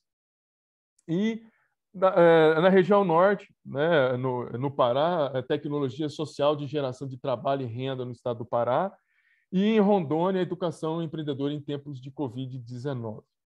Como eu disse para vocês, tanto as incubadoras né, quanto é, os polos de inovação, mas principalmente as incubadoras, têm possibilitado é, o desenvolvimento dessas indicações geográficas que têm permitido as atividades, muitas vezes atividades é, de, de, de, familiares, né, de atores de familiares, poderem né, é, se utilizarem da pesquisa e da ciência para poderem desenvolver suas atividades e não ficar subjugados ao desenvolvimento da ciência, de uma ciência que está mais é, próximo de grandes empresas ou multinacionais. Mas vale a pena é, refletir e mostrar isso aqui é um ranking é, do índice de inovação global é, recente, esse ranking. Veja quais são os países que estão, os 15 primeiros países dentro deste ranking, e o Brasil que está na posição 57. Então, nessas questões de inovação, o nosso país precisa, enfim, avançar muito, está muito longe dos países que trabalham né, com sistemas de inovação de última geração. Falando nessas questões de inovação, eu preciso abordar uma questão: por que, que a pesquisa e a pós-graduação são importantes quando elas geram conhecimento que trazem desenvolvimento, transformação e, sobretudo, soberania a uma nação. Eu queria refletir, eu disse que eu ia falar um pouquinho sobre a indústria farmacêutica, porque a indústria farmacêutica, ela suscita, ela é uma das principais indústrias que suscitam pesquisa e desenvolvimento, aqui eu estou mostrando, ela suscita mais desenvolvimento do que as, as empresas de tecnologia e de serviços de computação. É, eu preciso também refletir que o desenvolvimento de um medicamento, ele, de forma geral, ele possui várias fases, várias fases, né? Ele possui desde o desenvolvimento do medicamento dentro da bancada, fazer-se a necessidade depois de finalizado é, um, né, uma tese de doutorado, ou mesmo dentro de um mestrado, ou mesmo dentro de uma empresa, o desenvolvimento de é, testes pré-clínicos com estudos sendo realizados em termos de farmacocinética e farmacodinâmica para que um cidadão ou mesmo uma possa é, é, ingerir esse medicamento com segurança e isso é, é, é requer, né, enfim, pesquisas utilizando, como eu disse, animais. Depois eu tenho uma fase que é clínica, em que você faz testes com segurança sobre os seres humanos. E depois você tem todas as questões de registro, etc., a ponto que um medicamento ele pode ter um tempo de vida em torno de 25 a 30 ou 35 anos. O desenvolvimento, o valor que se, é, principal no desenvolvimento de um medicamento, ele não está nos, na, na pesquisa em si realizada no laboratório. Ele está principalmente nessa fase de triagem clínica. Né? Nós saímos, em geral, de 10 mil compostos para que a gente possa, desses 10 mil, a gente ter um composto que a gente possa continuar os estudos e aí fazer os testes pré-clínicos e clínicos. Mas veja, é, no ano passado, gente, nós estamos ainda numa situação pandêmica. E aqui é, é, é uma, o top 10 das companhias farmacêuticas que mais investiram em 2020 no desenvolvimento de vacinas e medicamentos. Percebam que os valores aqui estão é, em cifras de bilhões de dólares, é, e vejam, é, vejam né, quais são, da onde são é, essas empresas. Né? São multinacionais, muito provavelmente vocês já tomaram medicamentos dessas, de alguma dessas empresas. Veja que, é, quando a gente fala da, da Covid, do desenvolvimento dessas vacinas, muito se falou sobre a velocidade com que foram desenvolvidos esses medicamentos. Uh, existe todo né, um know-how em termos de ciência no desenvolvimento dessas é, sobre vacinas, né, é, que precisa ser considerado. Nós temos a ciência, né, tem conhecimentos de desenvolvimento de vacinas para o SARS, né, além do H1N1, além do Ebola, do MES, né, que foram utilizados todas essas tecnologias e tecnologias anteriores e o conhecimento dessas tecnologias, mais um trabalho em conjunto que uma coisa que, sabe, existe falta antes da pandemia, não sei se né, durante, nós estamos, graças a Deus, diminuindo um pouco essa situação dessa pandemia sem precedentes, em termos dos índices de, de, contaminação e de mortes. Eu não sei como que vai ser posteriormente, mas a realidade é que durante a pandemia, na busca dessas vacinas, é, é, e eu não estou fazendo aqui uma avaliação em termos dos interesses econômicos, embora eu vou falar um pouco depois, também um pouquinho a respeito disso, é, e sobre as consequências né, de você ter um, o domínio sobre a ciência, é, mas veja que é, esse, esse desenvolvimento desse, das vacinas é, suscitou um trabalho em conjunto que muitas vezes a gente não possui dentro dos nossos laboratórios. Um trabalho colaborativo de pesquisadores, de empresas, para que isso pudesse diminuir o tempo e a gente conseguir produzir 7 bilhões de doses de vacinas. E que nós pudéssemos ter, hoje, ao longo do mundo, é, umas certas quantidades de vacinas aprovadas no mundo. Existe uma, também uma simetria muito grande, e eu vou comentar um pouquinho a respeito disso, dos medicamentos que são utilizados no mundo. Isso é uma coisa muito séria. Né? Agora, o desenvolvimento de uma vacina, ela, em termos da sua produção em, em si, depois de finalizados os seus testes, etc., se, se demora em cerca de 60 a 120 dias em função de geração dos seus, é, é, dos seus princípios ativos, em termos da qualidade em si, o, te, o, o tempo, principalmente, da produção da vacina, ela está baseada principalmente na qualidade, mas necessita da participação de muitos colaboradores e de alta tecnologia. São sistemas complexos que permitem se ter uma vacina segura e efetiva. Bem, a realidade é, é, hoje no mundo, gente, aqui eu estou mostrando para vocês o setor farmacêutico, na verdade, o investimento né, no setor farmacêutico e quem são os países que mais investem é, dentro das pesquisas é, nas ciências farmacêuticas. Veja que os Estados Unidos são aqueles que mais é, produzem, né, ou, que mais investem. Né? Aqui está na faixa de milhões, só que se nós olharmos aqui, né, isso aqui está em milhões, milhões são 64 milhões, então isso aqui a gente está falando de 64 bilhões né, é, investido só em 2019. Vocês vejam que os Estados Unidos sempre são investimentos superiores e depois a Europa é, e o Japão. Isso tem suas consequências. Isso tem suas consequências nesses investimentos. Uma das consequências é do número de novos medicamentos, de novos compostos é, biológicos que são passíveis de serem aplicados.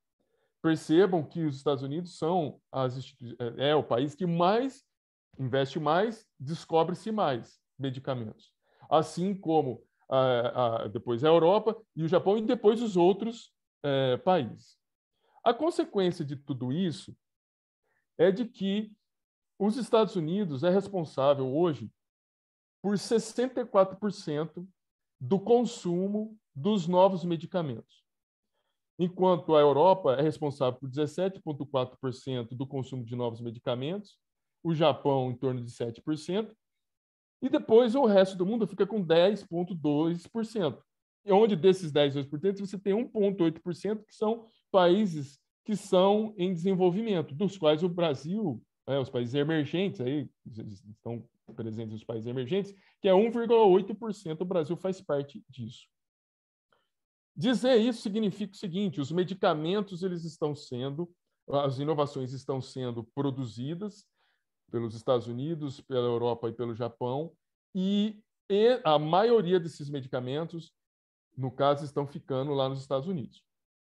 O mercado farmacêutico não representa toda essa porcentagem. O mercado farmacêutico representa 49% do mercado farmacêutico está nos Estados Unidos, 24% na Europa, 8,2% na China, 7% no Japão e 3,5% na América Latina. Veja que, uh, e 8,4% na, na África, Ásia e Austrália. O mercado farmacêutico americano é enorme, né? É enorme por causa do interesse deles de consumirem novos medicamentos, medicamentos novos. Bem, quero refletir então um pouquinho sobre isso.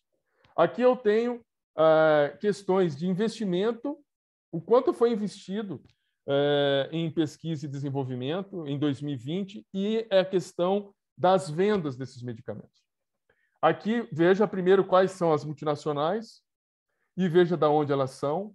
E se você pegar e fazer uma comparação, uh, uma relação entre o que foi é, ganho em vendas e o que foi investido, você tem a Roche, a Roche que ela, né, na verdade, ela superou, investiu em 4,2 vezes. Mas a Abv, ela superou 7,6 vezes. A Sanofi, ela recuperou 6,1 vezes. E eu fiquei, eu, quando olhei esses números todos aí, eu olhando, eu falei, bem, já como a Rush, a Roche, a Rush, ela está é, tá aqui como no primeiro lugar, eu quero dar uma olhadinha nesse medicamento, chama Avastin. Que medicamento que é esse? Né, que é líder de venda aqui na primeira colocada, que é a Roche, e depois a Abv, que teve o maior ganho, né, de 7,6 vezes. E que medicamento é esse daqui? O Mira, só o Mira vendeu quase 20, é, quase 20 milhões né, de, ou melhor, 20 bilhões de é, é, de dólares. O Avastin, né, que é produzido pelo Roche, é um medicamento para câncer coloretal. Ele é um medicamento que você está aqui está um valor dele, né, da Avastin, é entre uma dose de 100 miligramas e 400 miligramas. Percebam o valor do medicamento. Aqui estão as vendas do medicamento 2019 e 2020. Só no, veja bem que só no Brasil foram 48,2 milhões de dólares. Uh, e se nós fizermos uma conta entre 2013 e 2020, o que o Brasil passou para, enfim, né, pagou por esse medicamento, o Brasil pagou simplesmente 10,4% do custo do desenvolvimento desse medicamento, que já foi vencido há muito tempo. O Avastin ele custou 3,25 bilhões em 2004. E gostaria de fazer uma reflexão de um medicamento chamado fluoracil, que pode ser utilizado também no tratamento de, de câncer é, coloretal. Veja o custo dele e veja que é, a própria Medical New Today, que é, um, que é um jornal especial, especializado na parte de medicina, que ele faz uma comparação de um tratamento quimioterápico tratado utilizando-se é, via o fluoracil, né? Isso daí, né, num país custaria 2,5 milhões de dólares e com a, a, o Avastin 78,3 milhões de dólares. Então, reflitam isso. A, o Umira, que, eu, que, é um líder de venda lá o, no, na, é, na, na ABV, é um medicamento que é usado para doenças inflamatórias de articulações, coluna, ver, enfim, doenças inflamatórias, dor vertebral, dor proveniente de artrite, de Crohn, psoríase, espondilite anquilosante, ou seja, essas inflamações e dores que persistem à humanidade, se você quiser tratar comigo, você vai ter que desembolsar esses valores. Uma caixinha de Umira 40 miligramas é quase 10 mil reais. Mas, se você não quiser bancar isso, o, o, é, você pode usar ciclosporina. Os valores são menores.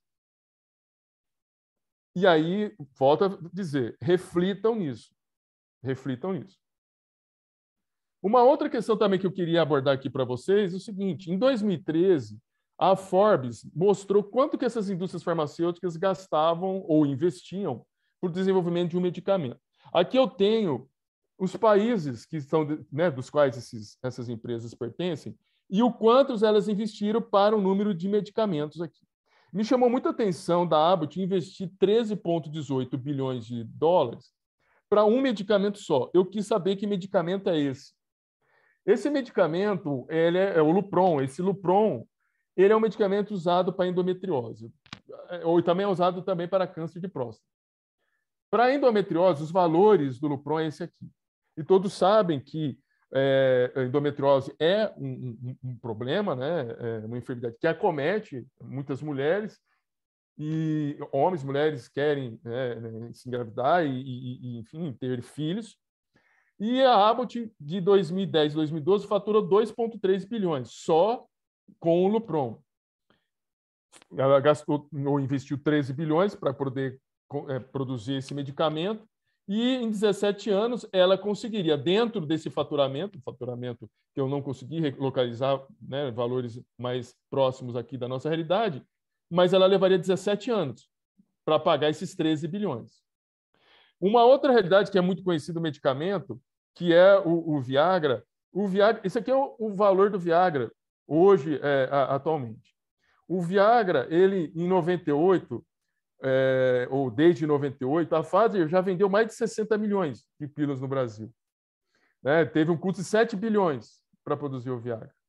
Aqui, só que no Brasil, é, era consumido um, um comprimido do Viagra a cada sete minutos. Né? Um comprimido que já chegou a custar 100 reais, um comprimido. Só o Brasil, ele de, até 2008, ele tinha né, pago por esse medicamento, ou, ou, as pessoas que fazem utilização do medicamento, 735 ou quase 736 milhões de dólares. E em 22 anos de, de consumo do Viagra aqui no Brasil, o Brasil pagou 23% dessa pesquisa. Percebam, isso é a realidade.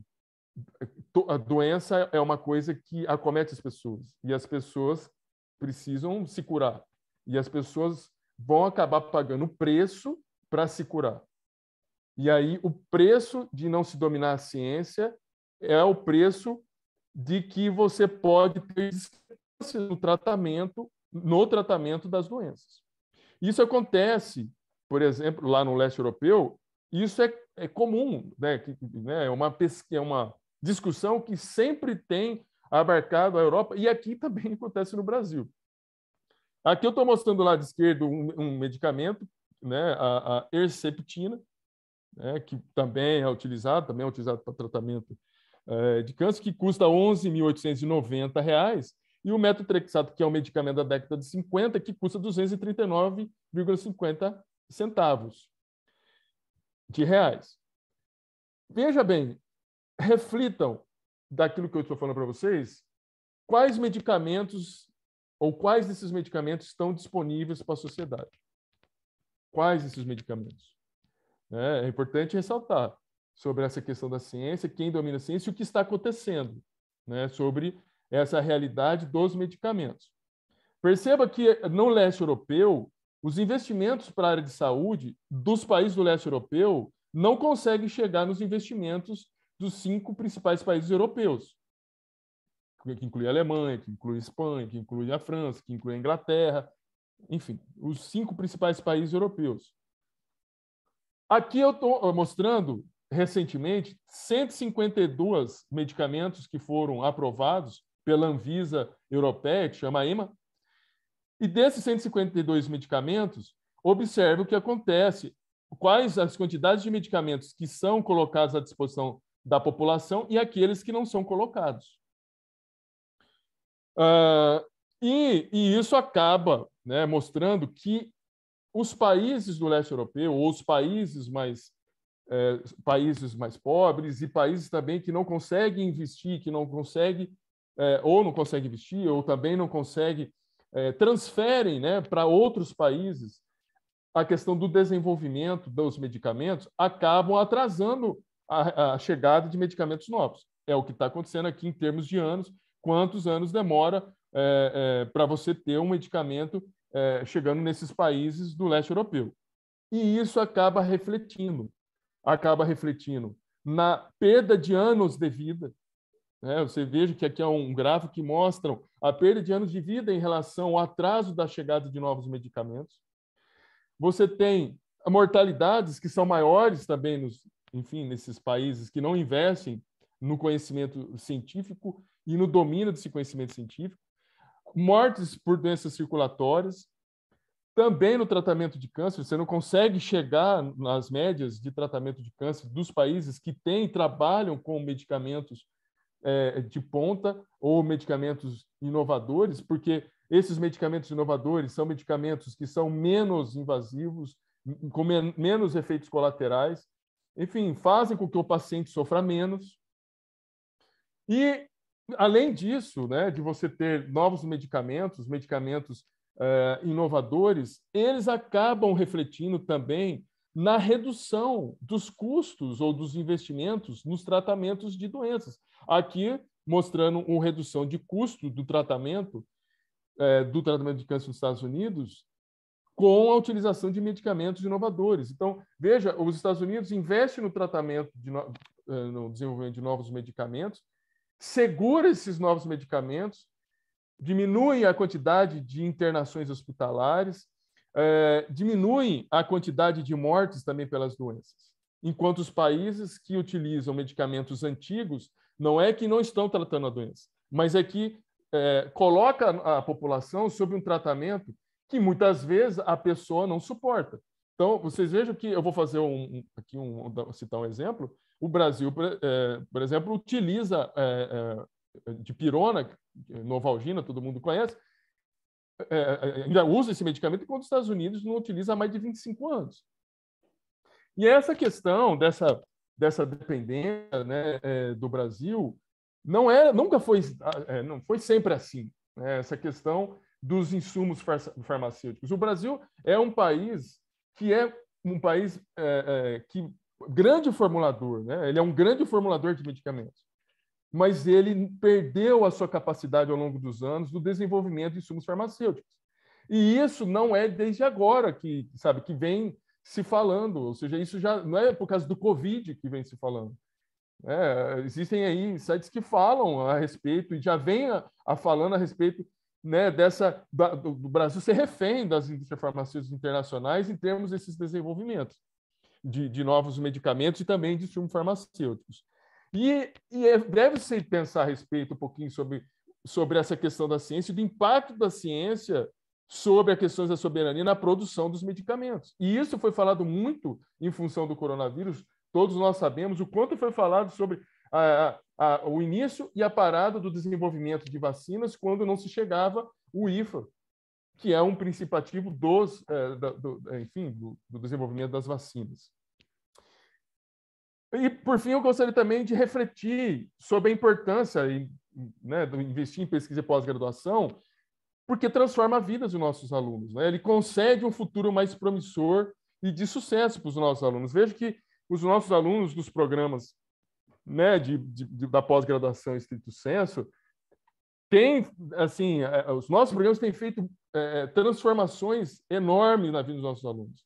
Dentro de salas de aulas, como professores, né, que vem fazer com que eles é, é, uma das, claro, são, são várias reflexões aqui eu estou mostrando em termos de prêmios, mas são muitas mudanças, e isso não é só aqui no Espírito Santo. Isso aqui é na rede federal como um todo. Né? Os nossos alunos é, presentes nos nossos é, programas são, é, é, enfim, eles têm, em função da sua formação e em função de que os programas vêm realizando em suas vidas, em termos de percepção, da realidade brasileira e do potencial que a ciência e a pós-graduação podem desenvolver na vida de uma pessoa, tem possibilitado eh, e tem permitido que os institutos federais possam mudar também uma realidade, eh, claro, da região metropolitana, mas, sobretudo, na região do interior. Queria agradecer aqui eh, a possibilidade de poder falar aqui para os nossos colegas, nossos ouvintes. Aí. Muito obrigado.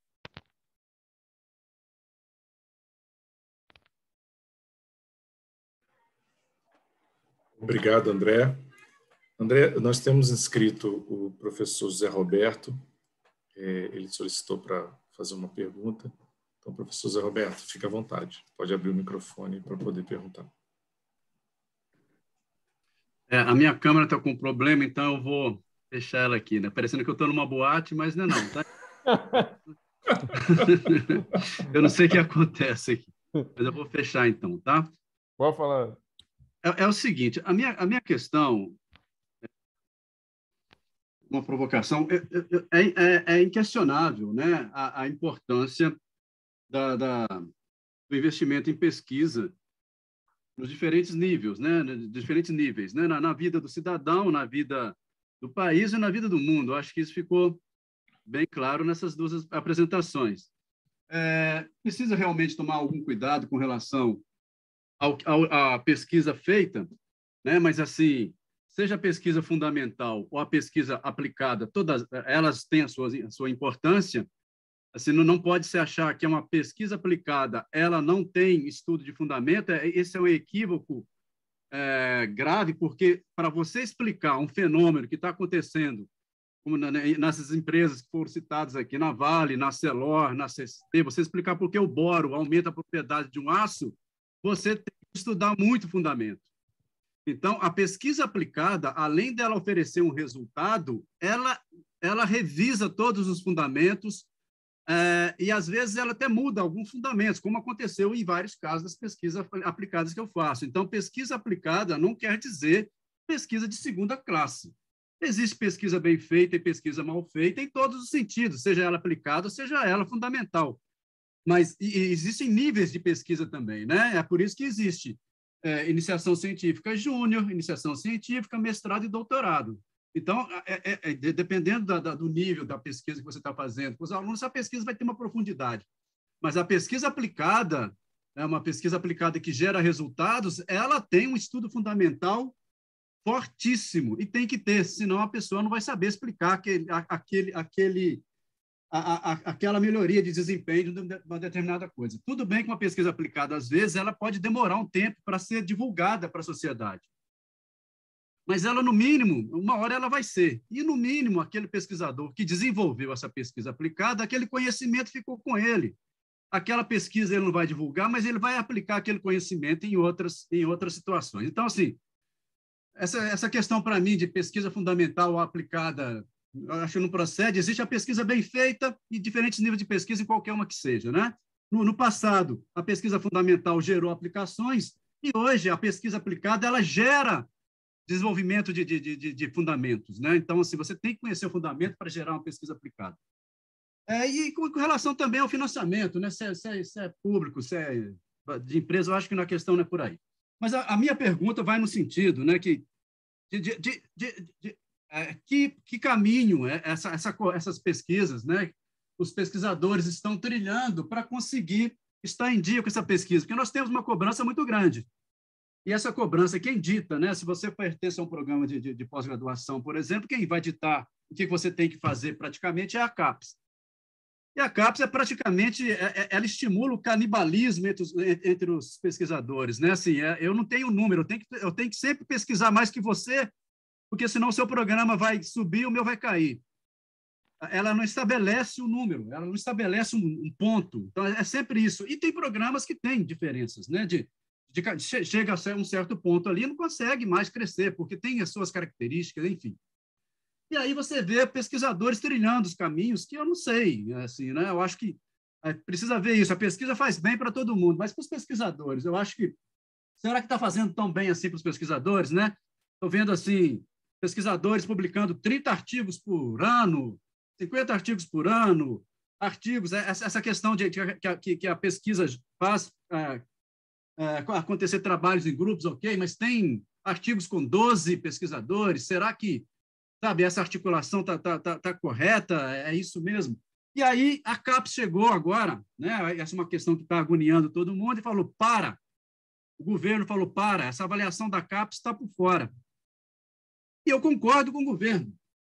Eu já eu sempre falei isso, a, CAPES ela sempre quer mais, a CAPES quer mais, quer mais, a CAPES sempre está pedindo mais. Em função disso, os pesquisadores estão indo para um caminho. E aí eu quero né, uma, opinião sobre, de, de vocês bem rápida, para não fugir do, do, do, do, do assunto, né, da, que a pesquisa vale a pena, porque às vezes você começa a questionar, é isso que é, que é fazer pesquisa? É eu ter que publicar 30 artigos por ano, mesmo sabendo que isso é impossível? É eu ter que colocar o nome de um, um pesquisador no meu artigo, para ele colocar meu nome no dele, para eu produzir 30 artigos por ano também. É, é a CAP sempre exigir mais de mim, é, não, mais, né? cinco artigos por ano serve, você vai ter que produzir mais porque o outro seu está tá produzindo mais. E aí vem o governo, falou, chegou e deu um basta.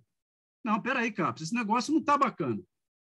E o que eu tenho visto é a comunidade científica descer de pau no governo. Ninguém chegou e falou, olha, faz sentido. E eu já estou falando que esse negócio, que a CAP já foi longe demais há muito tempo. A CAP já passou do limite dela de, de, de, de há muito tempo com relação a essa exigência da pós-graduação. Daqui a pouco nós vamos ter que arrumar emprego para os nossos egressos, porque hoje ela quer tudo, nós temos que mapear egresso, nós temos que não sei o que lá do egresso, saber onde que o egresso está, o egresso foi para onde. Enfim, é uma, é uma, nós temos que ter relevância, tá, tudo bem, é uma série de exigências. E o governo chegou e falou: peraí, esse negócio não está bacana, não. Eu, eu, eu, acho, eu, já, eu já acho que isso deveria ser revisto há muito tempo. Eu quero saber a opinião dos dois palestrantes, né, do, do, do André e do Maurício. Se não for sair muito disso, o que, que vocês acham sobre essa questão? E essa questão da CAPES e essa posição do governo, que é uma coisa que está angustiando todo mundo. Né? Nós fizemos um trabalho que eu estou esperando a avaliação da CAPES ansiosamente para ver se a gente consegue o 4, mas a gente não sabe como é que vai estar tá isso. Obrigado, Zé, da pergunta. É, eu queria fazer uma reflexão a respeito da CAPES com um olhar em cima do que ela está solicitando, em cima também da questão da inovação. Veja, a, a, eu acho que todos estão percebendo, eu tô, vou falar primeiro do movimento da Secretaria de Educação Profissional Científica e Tecnológica, que é a secretaria que olha para a rede federal. Existe um, um, um trabalho que está sendo feito muito voltada para as questões da inovação. Eu acho que isso vocês estão percebendo, esse movimento que está acontecendo em termos de inovação, em termos de trabalhos sendo desenvolvidos, é, para desenvolvimento de, de, produtos tecnológicos também voltados para questões de empreendedorismo e das questões da inovação. Uh, acontece que, uh, e assim, é o meu entendimento, eu tenho percebido que muitas vezes eles estão eu não sei se a palavra é se esquecendo ou se eles não estão é, atentos do poder é, que a pós-graduação em estrito senso tem de inovar e desenvolver novos produtos, novas tecnologias educacionais, é, produtos também tecnológicos, inovações tecnológicas. De qualquer maneira, todos essas, essas, essas, é, esses direcionamentos que a CETEC vem, vem realizando, se você olha para a CAPES e olha para o CNPq, existe um descompasso muito grande, muito grande. É, a CAPES, ela, é, é, assim, e o, o, eu posso falar, e eu falo, eu já falei isso daí lá na CETEC, né, pra, é, para o próprio secretário, já falei isso para é, os colegas da, da CETEC que trabalham na parte de desenvolvimento regional, também na parte de inovação, que pode ser feito, eu acho que é interessante se fazer esses movimentos de inovação. Né? Eu, a pesquisa e a pós-graduação, eu reitero, ela não é um, um, direito apenas do cidadão que está na região metropolitana. Ela também é um, é um direito do cidadão do Brasil. E o Brasil não é só na região metropolitana. É na região metropolitana e no interior também. E os institutos federais têm essa característica né, de, de, de, se infiltrar, de se localizar, essa difusão que é tão bonita da nossa instituição e que traz resultados importantes. Mas, independentemente do que essa TEC está fazendo, nenhum programa, seja lá via coordenador ou via os, os docentes permanentes ou os docentes colaboradores, ou seja, quem quer que seja pertencente ao programa, alunos também, vão ficar olhando para essa TEC, o que ela está falando, ou qualquer outro órgão, se a CAP está pedindo outro, se a CAP está valorizando outra coisa. Então, eu falo, por exemplo, o seguinte: se a CAPES valoriza pouco as questões de patenteamento, e a CETEC valoriza o patenteamento, como que os cursos tecnológicos, por exemplo, vão olhar para a questão de patente? Não vão olhar, porque se você tem essa, a CNPq e a CAPES não conseguem observar isso. Então, a rede federal, existe, existem características na e mesmo a questão do ensino também. E mesmo a questão do ensino. A rede federal tem propriedades que são típicas, são características da nossa rede que não, em muitas situações, elas não estão atreladas ao que acontece na universidade. Então, e isso a nossa presidente do CONIF, a professora Sônia, tem se articulado junto com, com o Ministério da Educação e ela entende a necessidade que o CONIF e que também a CETEC precisa estar no conselho, é, por exemplo, no CTC da CAPES. Né? Precisa estar, pessoas da rede lá. Você não tem a rede não possui pessoas vinculadas ao CTC, não possui. Lá, você está entendendo? Sobre essa questão que você falou, sobre é, é, as questões do canibalismo científico, eu imagino que isso daí acontece no mundo inteiro. Né? E isso a CAPES também, falando aqui do Brasil, olhando aqui para o Brasil. A CAPES, durante é, é, é, anos, anos, ela teve uma política de desenvolvimento em termos de quantidade em termos de quantidade. Hoje a CAPES ela virou um olhar e, e, eu acredito que também as instituições, as FABs precisam também olhar para isso sobre a questão da qualidade. Isso é importante também, né? E a qualidade perpassa por fatores que não são apenas bibliográficos. Não são apenas bibliográficos. Você veja que a avaliação quadrenal, ela tá, veja que existem coisas na avaliação quadrenal que já eram observados antes mas que não se dava muita importância. Hoje eles estão dando uma maior importância sobre o, qual, o que, que o, um programa de pós-graduação, o impacto dele dentro do local em que ele se encontra, ou mesmo dentro da sua região, ou mesmo dentro do Brasil.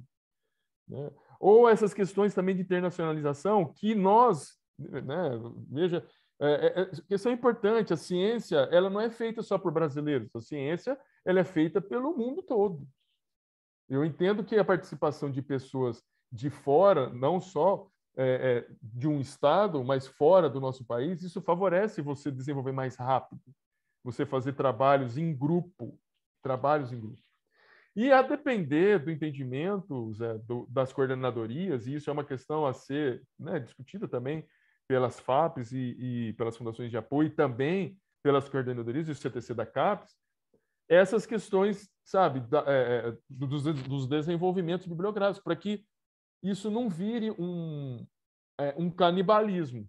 O que eu chamo de canibalismo é essa situação de que é, é, é um, lá na, da onde eu venho, eles falaram que era, que era o, o pagar é, pedágio. Você vai, é, realiza um determinado experimento, aí tudo bem, não tem como te pagar, mas coloca o meu nome no artigo. Isso é, é, é ruim perante o desenvolvimento é, enfim, das, da, da, ciência no âmbito do, do, crescimento da instituição ou de um grupo de pesquisa. Acho que precisa se pensar assim a respeito disso.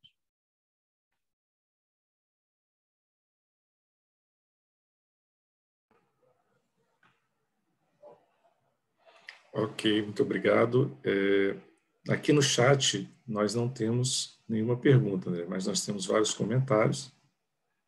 É, nós temos a, a, professora Marlinda falando que os quimioterápicos para PETs também são importados, são caríssimos.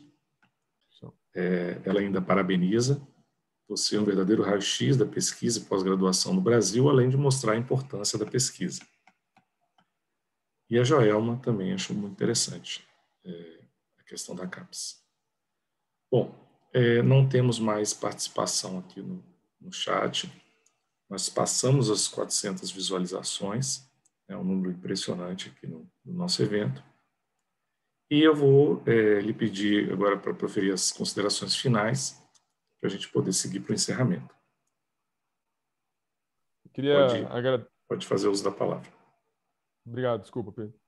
É, queria novamente agradecer a possibilidade de falar para um grupo assim seleto importante da nossa instituição.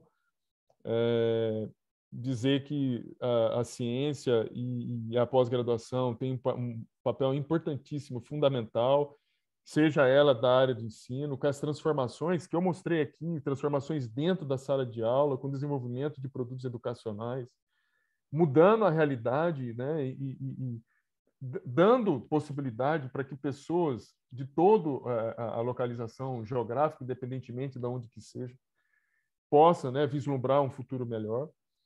E que é, a ciência também muitas vezes ela é, ela é cruel. Ela é cruel porque quando a gente fala principalmente nesse tópico que a gente fala de saúde de, de doença todo mundo que fica doente quer se curar. Todo mundo que, que fica doente quer tomar um medicamento né? mas acontece que um país que não se olha um país que não é, não tem o, cuidado de investir em, né, em ciência, em conhecimento, para o desenvolvimento de medicamentos, e que consiga ter um mero controle sobre isso, ele fica sob seu julgamento ou subjugado às ações de outras nações. E a gente acaba sendo tratado por medicamentos antigos. E aí aos nossos parentes, que a gente sabe, para quem já teve parentes que sofrem de doenças, enfim, doenças difíceis, sabe o que, que é passar e, é, e, verificar o sofrimento das pessoas com esses medicamentos com uma série de efeitos colaterais. Queria agradecer a vocês, agradecer também, tinha um agradecimento a todos os nossos alunos que trabalham na pós na, na pós-graduação, junto com os nossos professores, junto com os nossos coordenadores. Muito obrigado aí, Pedro.